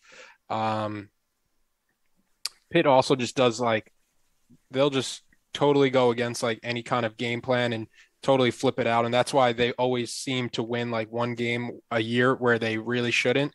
And that would be a game like this North Carolina, like this North Carolina game, when you're looking at what both teams have on both sides of the ball. But I'm going with a win for North Carolina and uh, getting back on the winning track when uh, you're looking at at Pitt. I think they've they've lost maybe the last two times there. I know they definitely lost the last time there. Um, but yeah, two last two times because the last time they went there with Fedora, they lost. I'm yep. pretty sure on a Thursday as well. Um, so those Thursday games have kind of been problems for North Carolina. I think the last time they won on a Thursday there was the the Marquise face mask game. Um, but I think North Carolina wins. They won on a yeah. Thursday in 2017. At Pitt? 34 to 31. Oh, if, wow. If they call targeting uh, two years ago, they don't lose that game because their best defensive player's out. Buck at Pitt. Here's what irritates me about ACC and scheduling here. If they would just schedule this game on a Saturday, I could go up there and see. And like in September, I could see the Pirates, Carolina and Pittsburgh Panthers, and then I could see the Steelers on a wonderful weekend in Pittsburgh, but they just refused to give me that opportunity. But what happens in this ball game late in the season? Carolina's going to be probably be beat up by the point by this point. It's a short week at Pitt. Larry Fedora owned the short weeks. Less coaching, better results. Uh, but how does Carolina do in this one, But Well, uh, uh, I'm going to probably take some grief for it, but I've got this one down as a loss uh, because of the short week. Um, and here's the crazy part, which uh, Vip alluded to a little bit. The higher ranked North Carolina is going into this game, the better chance Pitt has of knocking them off because that's their MO. Um, like every year Narduzzi has been there, I think they beat they beat Clemson, uh, probably beat them on the road. I think they beat Miami when Miami was ranked number two in the nation. Um, they uh, came within like a touchdown of beating Penn State um, a year or two ago. They beat UCF last year, was it, or a year before last? So uh, they have this uh, penchant for knocking off highly ranked teams and sucking the rest of the year. So, uh, you know, I, I, just think that this is this is your trap game on the short week. Uh, Mack doesn't really have much history with Pitt. You know, it's not like he's going to say, "Well, it's Wake Forest. We have to beat these guys. They're in state." Blah blah blah.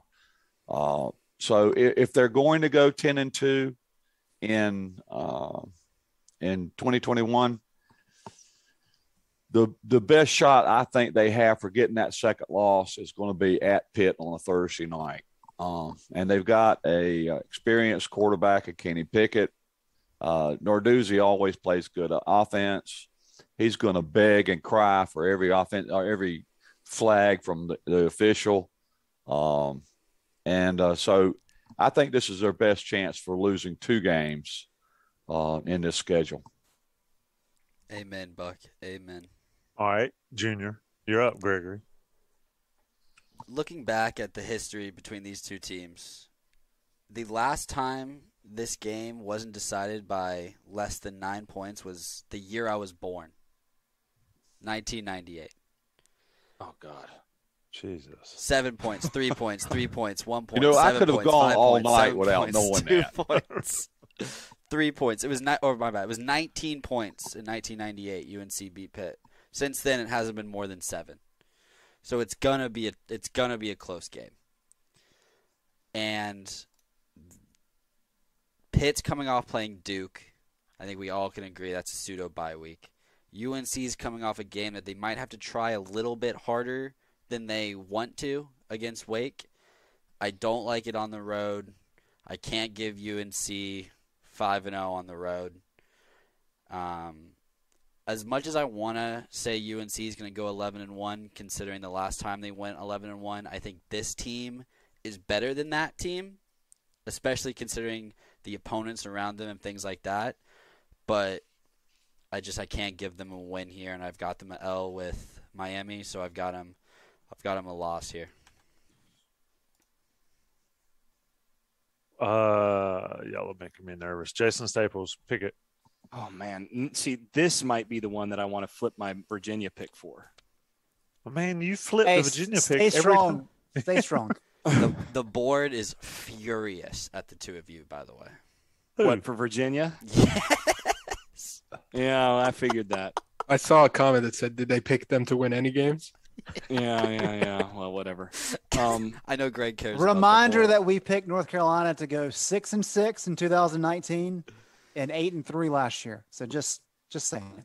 Oh, yeah. Barnes bringing the heat. Hey, he's got yeah. his chest hair out today. This is the one. This is the one. That, this is my that, Ross shirt. This is the make or break game in so many ways because this is it, it is so hard to win on a short week when you're on the road.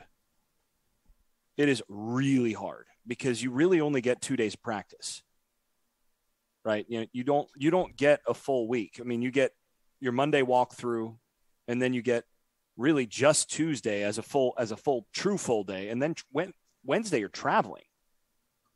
That's really hard against a team that you know the home team actually gets that additional day, essentially to, to practice. So I'm going to go with an L here, and I'm I'm ah, man, that's hard. But I'm going to go with a loss and flip me, put me down for a win against Virginia. Dang it, I, I just nope, couldn't. nope, He- nope. You know, he does Oh, this every year. every year. every I do it. year he does this. I do it because If I've got to like find losses. more. Yeah, I've got to you nailed it. find. I've got to find losses because Leave it red, Gregory. yeah, Oh, you can okay, leave it okay, red. That's fine. That's fine, but uh, I've got to find losses, and it's a matter of where that's going to be. And I had a hard time selling that that Virginia, I mean, um, that Virginia loss. all of your analysis for every other game, the Virginia loss didn't make sense when you were going when I, when you when Well, I, I mean, was I listening told you, to I, your I, Notre I had a Dame hard enough analysis. time It didn't make sense to me.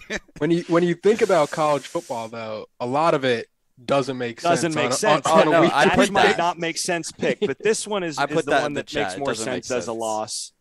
And you know what? Screw it. I'm gonna go with I'm gonna go with a loss against Virginia and against Pitt, and we'll just make it easy. Jesus Christ! What? You don't have to do that. I was just picking on you. You No, know, you you leave- go with the W. Leave that W. Look. I, good I- with I- that. I like the W against Until Virginia. this show is over, what is until is the it? show is over, anybody can change whatever they need.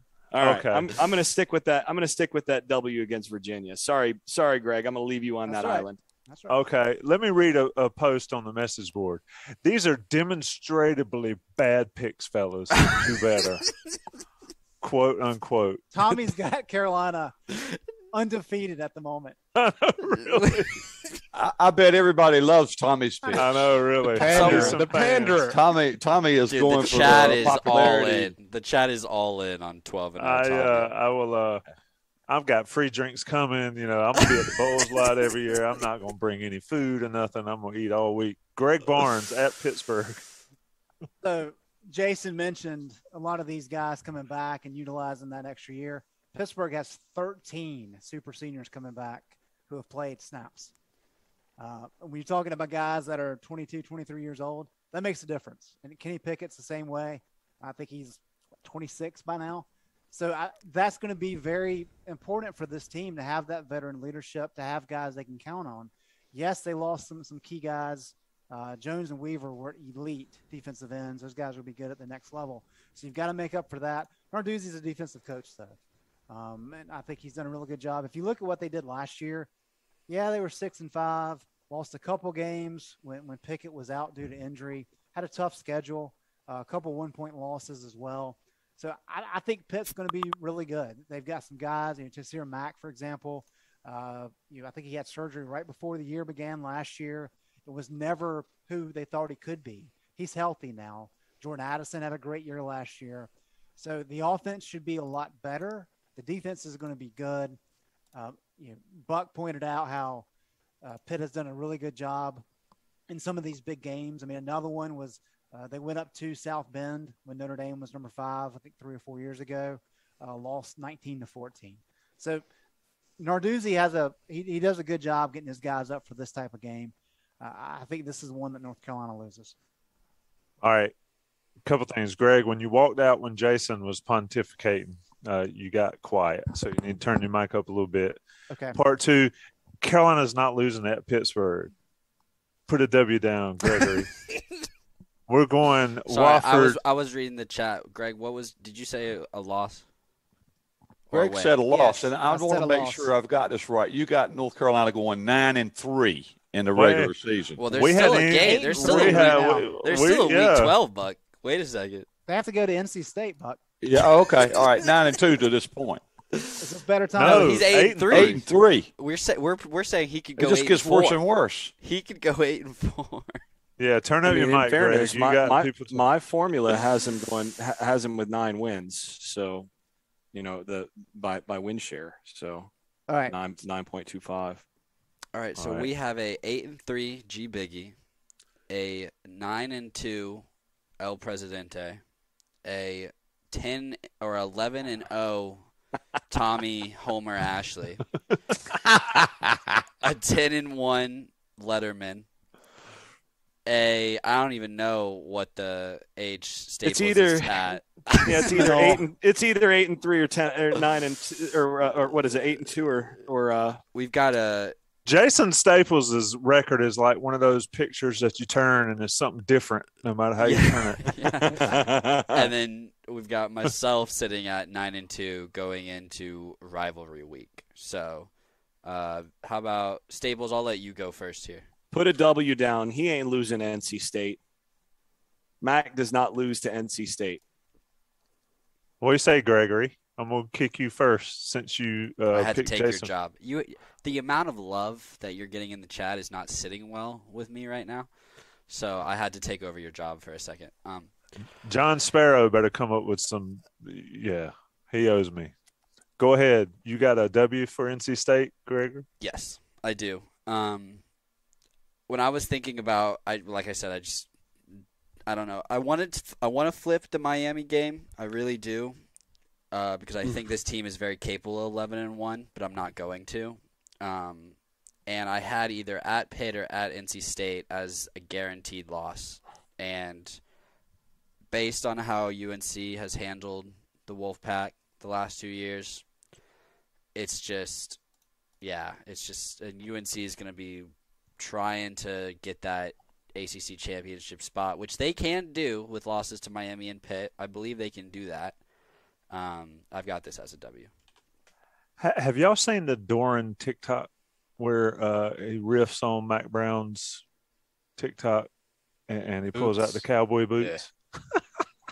Every, Yeah. Everything he does is kind of tough. I watch. mean, it's, It's just brutal. like, uh, what did they say? It's cringe. Go ahead, Vip.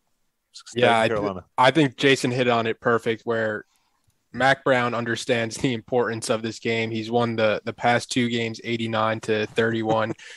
I do like Devin Leary as a quarterback. I think Devin Leary can at least make that game interesting where he was out the the last last year's game against NC State. Will he be on the field for this one at the end of the year? Yeah, it's it's a lot of games where you're you're counting on him to be healthy by the end of the year, but I think that North Carolina they from in comparison to years past, this team understands how big this game is for the in-state recruiting and it's just two teams going on two uh two completely different paths and um I'm going to make a bold statement here and say that this is the last game that we see uh Dave on the sideline. That is a bad Wow. Wow. No. I, I think it could Bold I, prediction This there. is the Larry I- Fedora Fire game. I I think it could be if you're looking at if the trend keeps continuing where North Carolina is just beating the brakes off NC State, no matter how many you know group of five games they win early on in the year, I think I think that could be the one that kind of breaks uh breaks their back. Brutal. Imagine well, it, it what has Tomlin- been. In fairness, that that has been the death knell of all previous NC State coaches, right? I mean, Yep. uh, Mike O'Cain, Chuck Amato, Tom, Tom O'Brien, O'Brien. You know, Tom all those guys. went five and, And- one against uh, against Yeah, and then Carolina. and was gone. everything you know. everything that a lot of the NC State beat writers had heard leading up to that Thanksgiving weekend game in 2016 against Carolina was that Doeren was out the door, and then they get out to that what 21 zip lead and actually end up beating uh, North Carolina. And that saved his job. So that's So- another example. So what do we think? Which- do we think Cut and Doeren is out after this season? Cut has a lifetime deal, right? Yeah, he's he's not. He's only. No, he wouldn't be if it's his fired, but he would leave. Yeah, they'll He's never fire. Cutcliffe. I mean, he'll stay as long as he wants to coach. Just But, have Peyton Manning come in for a visitation with the president. He'll be good. yeah, So- maybe he'll sign Arch Manning to make him a There. Blue- Blue yeah, Devil. somebody said that on the what's you call it. If that happened, uh, was the 2016 game the best thing to happen for North Carolina football, given what's happened the last two years? It sure hasn't hurt. Hadn't hurt. Uh, Greg Barnes, what? Where are we? Yeah, I'm gonna let Buck go last. So Greg Barnes, State Carolina. Yeah, if John Bunting is the shining example of how not to construct a schedule, Doeren is the shining example of how to construct a schedule. Because I think he's had all these winning seasons, all these non-win seasons, and isn't he like 500 in ACC play? I think he's like less than 500. I think he's like, 28 and 38 or something like that. yeah, Yeah. is Um, not great. In He's ACC fooled a lot play. of people into thinking he's a good coach. right, right. So credit to him for doing apparently that. a, a Fayetteville Observer writer too. He 28 and got 38. that is guy his licking his boots, brought his boots out. 10 games under 500. So the people on YouTube can complain about my Virginia pick all you want. Um, is going to be a much tougher game than this one. I agree with that. Yep. So I got uh, I got Carolina winning this one pretty handily in Raleigh. Greg read the comment that if he chooses UNC to go eight and four, he's not allowed back on the show next year. I, I didn't, but that's funny. It's funny. Well, he's already got them out of the coastal running, though, right?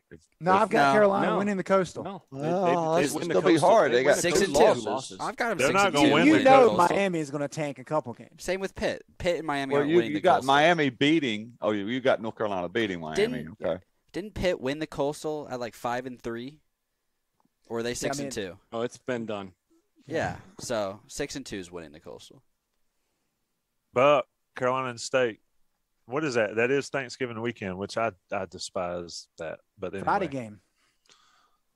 Yeah, um, this game really on paper um, should be a close game. Um, North Carolina, uh, North Carolina State is like uh, the fourth toughest game that North Carolina plays, according to the FPI and the S and P Plus. I mean, it's not like they don't have talent in Raleigh. They do. They have talent there. Uh, I think their running back group is good if they keep Larry healthy. Defense should be decent. I mean, they've got a chance to be the second best team in the uh, Atlantic Division, I would think. Uh, who else? Boston College might be second best there, or Yeah.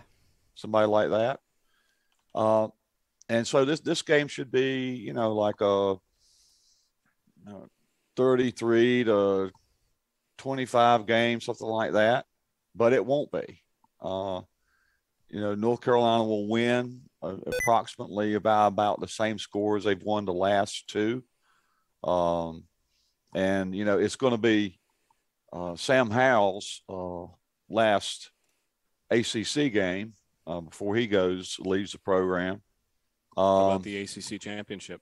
yeah, and the ACC, and particularly with the ACC championship on the line, according to you know Greg Barnes, uh, they lose this game, they're all the way out of the, the running for the uh, get to the title game. So, you know, I think they win this game. I think they win it probably by a couple of touchdowns. I think NC State may want may want to win this game too much. Um, I think they they might hurt themselves by being as uh, as high for this game as they'll up, ultimately end up being. So Yeah. Mack Um, Brown is full size. yeah, yeah. So I, North Carolina wins this game. I, I I'm not uh, nervous about that that finale at State. All right, Tommy, hold on. Let me get a drum roll going. Yeah, I, but uh, Tommy's not going to pick NC State against UNC. that's not going to happen. You don't That's you don't get gonna this far. You don't come this far to get this Alright. far. I played the, Uh, hold on, ready? I played the drum roll. So in three seconds, ready? One, two, three.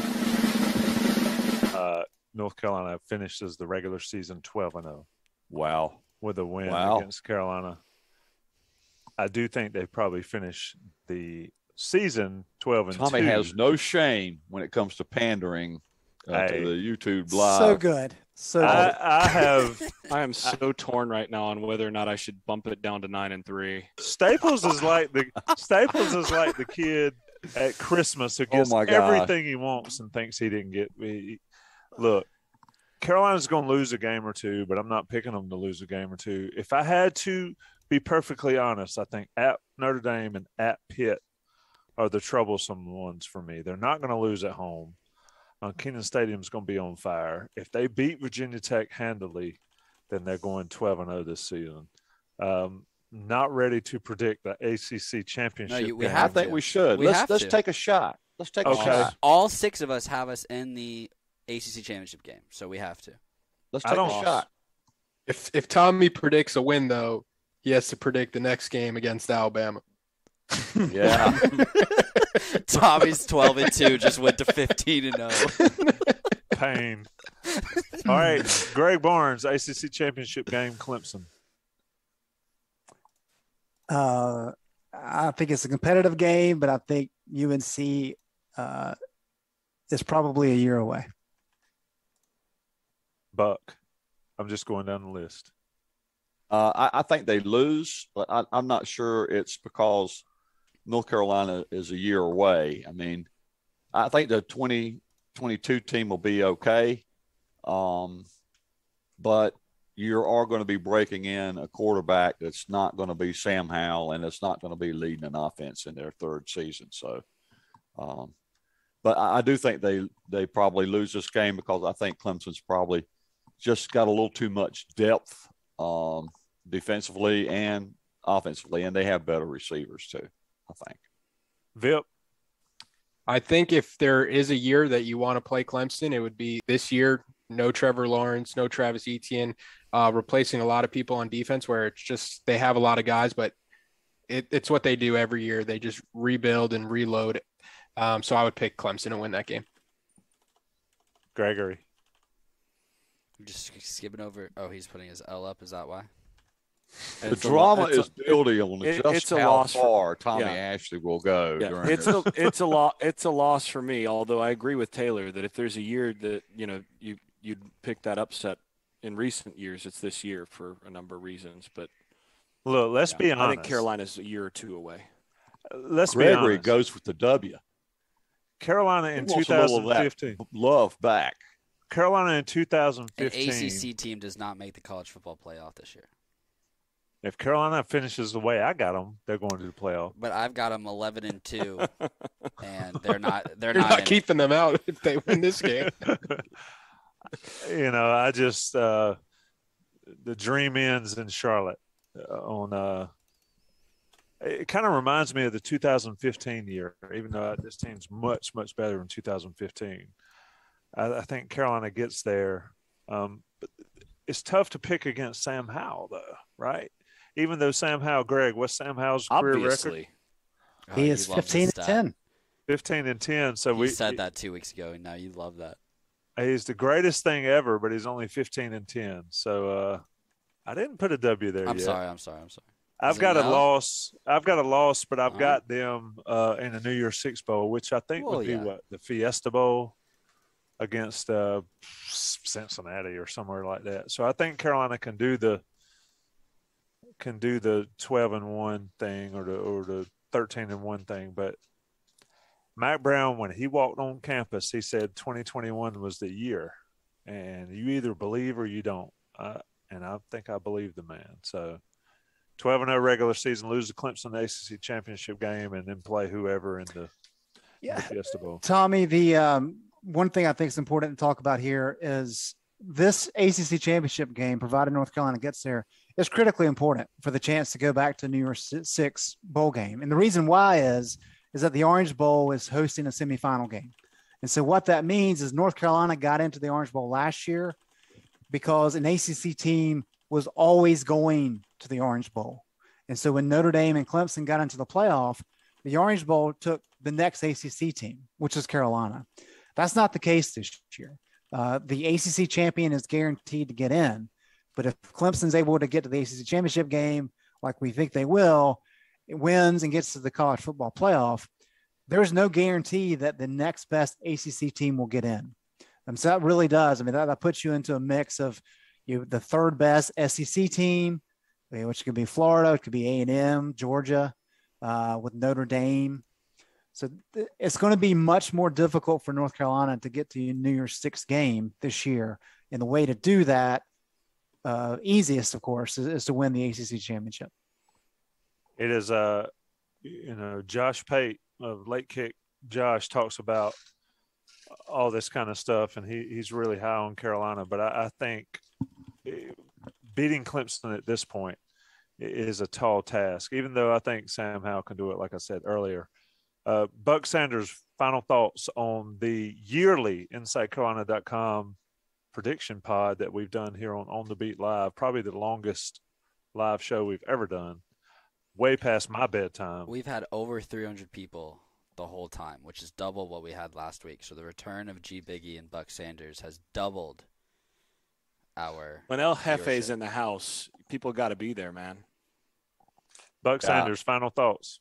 I, I think it, it was a great show. I really enjoyed doing it. Uh, it's interesting to see how people uh, evolve during the uh, podcast, um, which is that should be you should look up evolve in the dictionary and see a picture of Jason Staples. Uh, uh, but it's fun. Uh, it's all in fun. Predictions are what they are. Uh, but it gives us a chance to kind of preview the season a little bit and uh, set the stage for what's to come. Indeed. Vip, It's been a pleasure.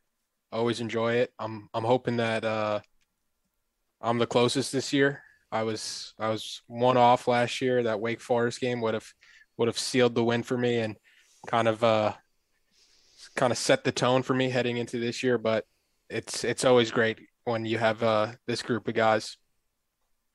So did you just uh, wish for a Wake Forest loss that would have helped you win the Inside Carolina Pick'em contest? Is I that what that's I just what I heard? heard. that's definitely what I heard. Uh the pick'em contest, it's it's it doesn't get any bigger than this. Jason Staples, final thoughts. Well, you know, evolution is uh, is an important way to uh, to you know improve as a person and as an analyst and all of this. You got to be flexible, Buck. No, or wishy washy, you know, one of the yeah, other. or wishy washy, whatever.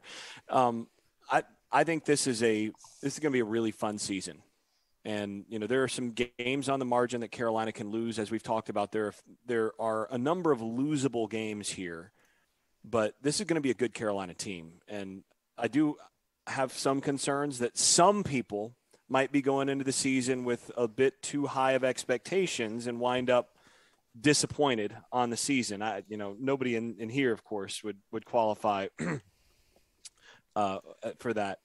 But I think if you go into this season really expecting, say, nine or ten wins, and then you'll take anything above, say, nine wins as a success, because that is a step forward. Again, that's progress under Mack Brown. That's the next step forward. If they had ten, if they hit ten wins on the uh, in the regular season this year, that's a success. That means they are steadily marching forward on Mack Brown's plan, and I think that that's where I've got them. Uh, you know, we can all hope they they exceed that, but I think that would be a success this season given the schedule and, and other things. Indeed. Gregory Hall.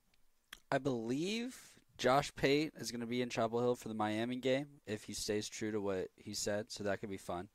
Um, and I believe he has UNC in his final four, if I recall. He has Oh. them losing to Clemson in the ACC championship. Oh, game, so no, he doesn't have it in the final four. Okay, but which is Yeah. what I said. I just it's gonna be crazy, and six and two is gonna win it, and it's gonna they're gonna get to the ACC championship game, and they're gonna do what no one thinks that they can do. So, and by nobody, I mean all of you five people. So, yeah, it's gonna be a wild season. I'm very much looking forward to not a single one of my losses being correct, and two losses being somewhere else on the schedule. So, yep, that's all I have to say. And thanks to everyone who tuned in. 300 plus is is pretty cool for already week six before we even have a game to talk about. Yep. Greg Barnes, you're always the the realist, so be real. What's up? Well, just looking at what we picked here, and, and everybody's gonna give me grief about Virginia. Have at it. Uh, but but that is a game that deserve you- it. Jay That is- Bateman notwithstanding. I hope to hear from Jay. Um, we, yeah, that that's a game that North Carolina clearly can win.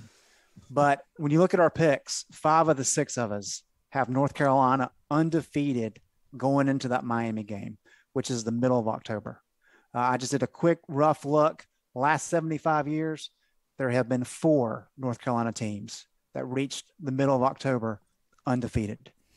So, regardless of how we picked all these games, everybody on this podcast uh, believes that this can be an incredibly special year for North Carolina, uh, one, one of the best seasons that we've ever seen in our lifetimes.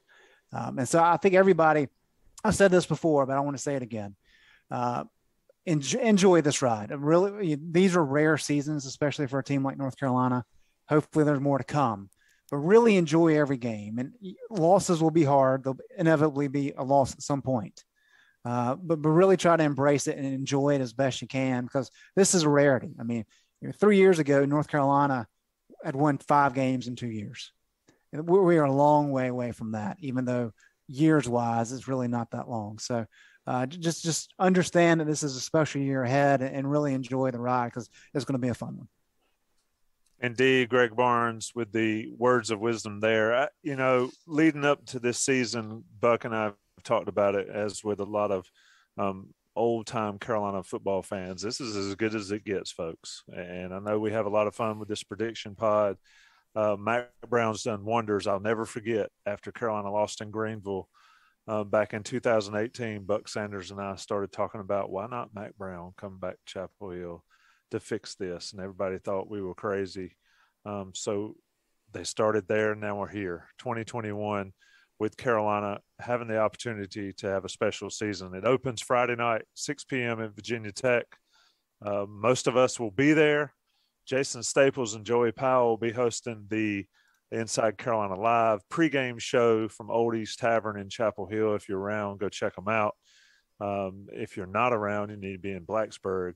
I'll be circling around looking for a place to park. I'll probably bring some Blue Shark vodka which also sponsors the post game podcast with Ross Martin and Sean Drone. Check that out immediately after the ball game on Carolina's or InsideCarolina.com socials, YouTube, Facebook, Instagram, and all that. For Gregory Hall, Greg Barnes, Buck Sanders, Jason Staples, and Taylor Vippolis, I've been your host, Tommy Ashley. We've been sponsored by Johnny T-Shirt. It's been on the beat live. Thanks a bunch, folks.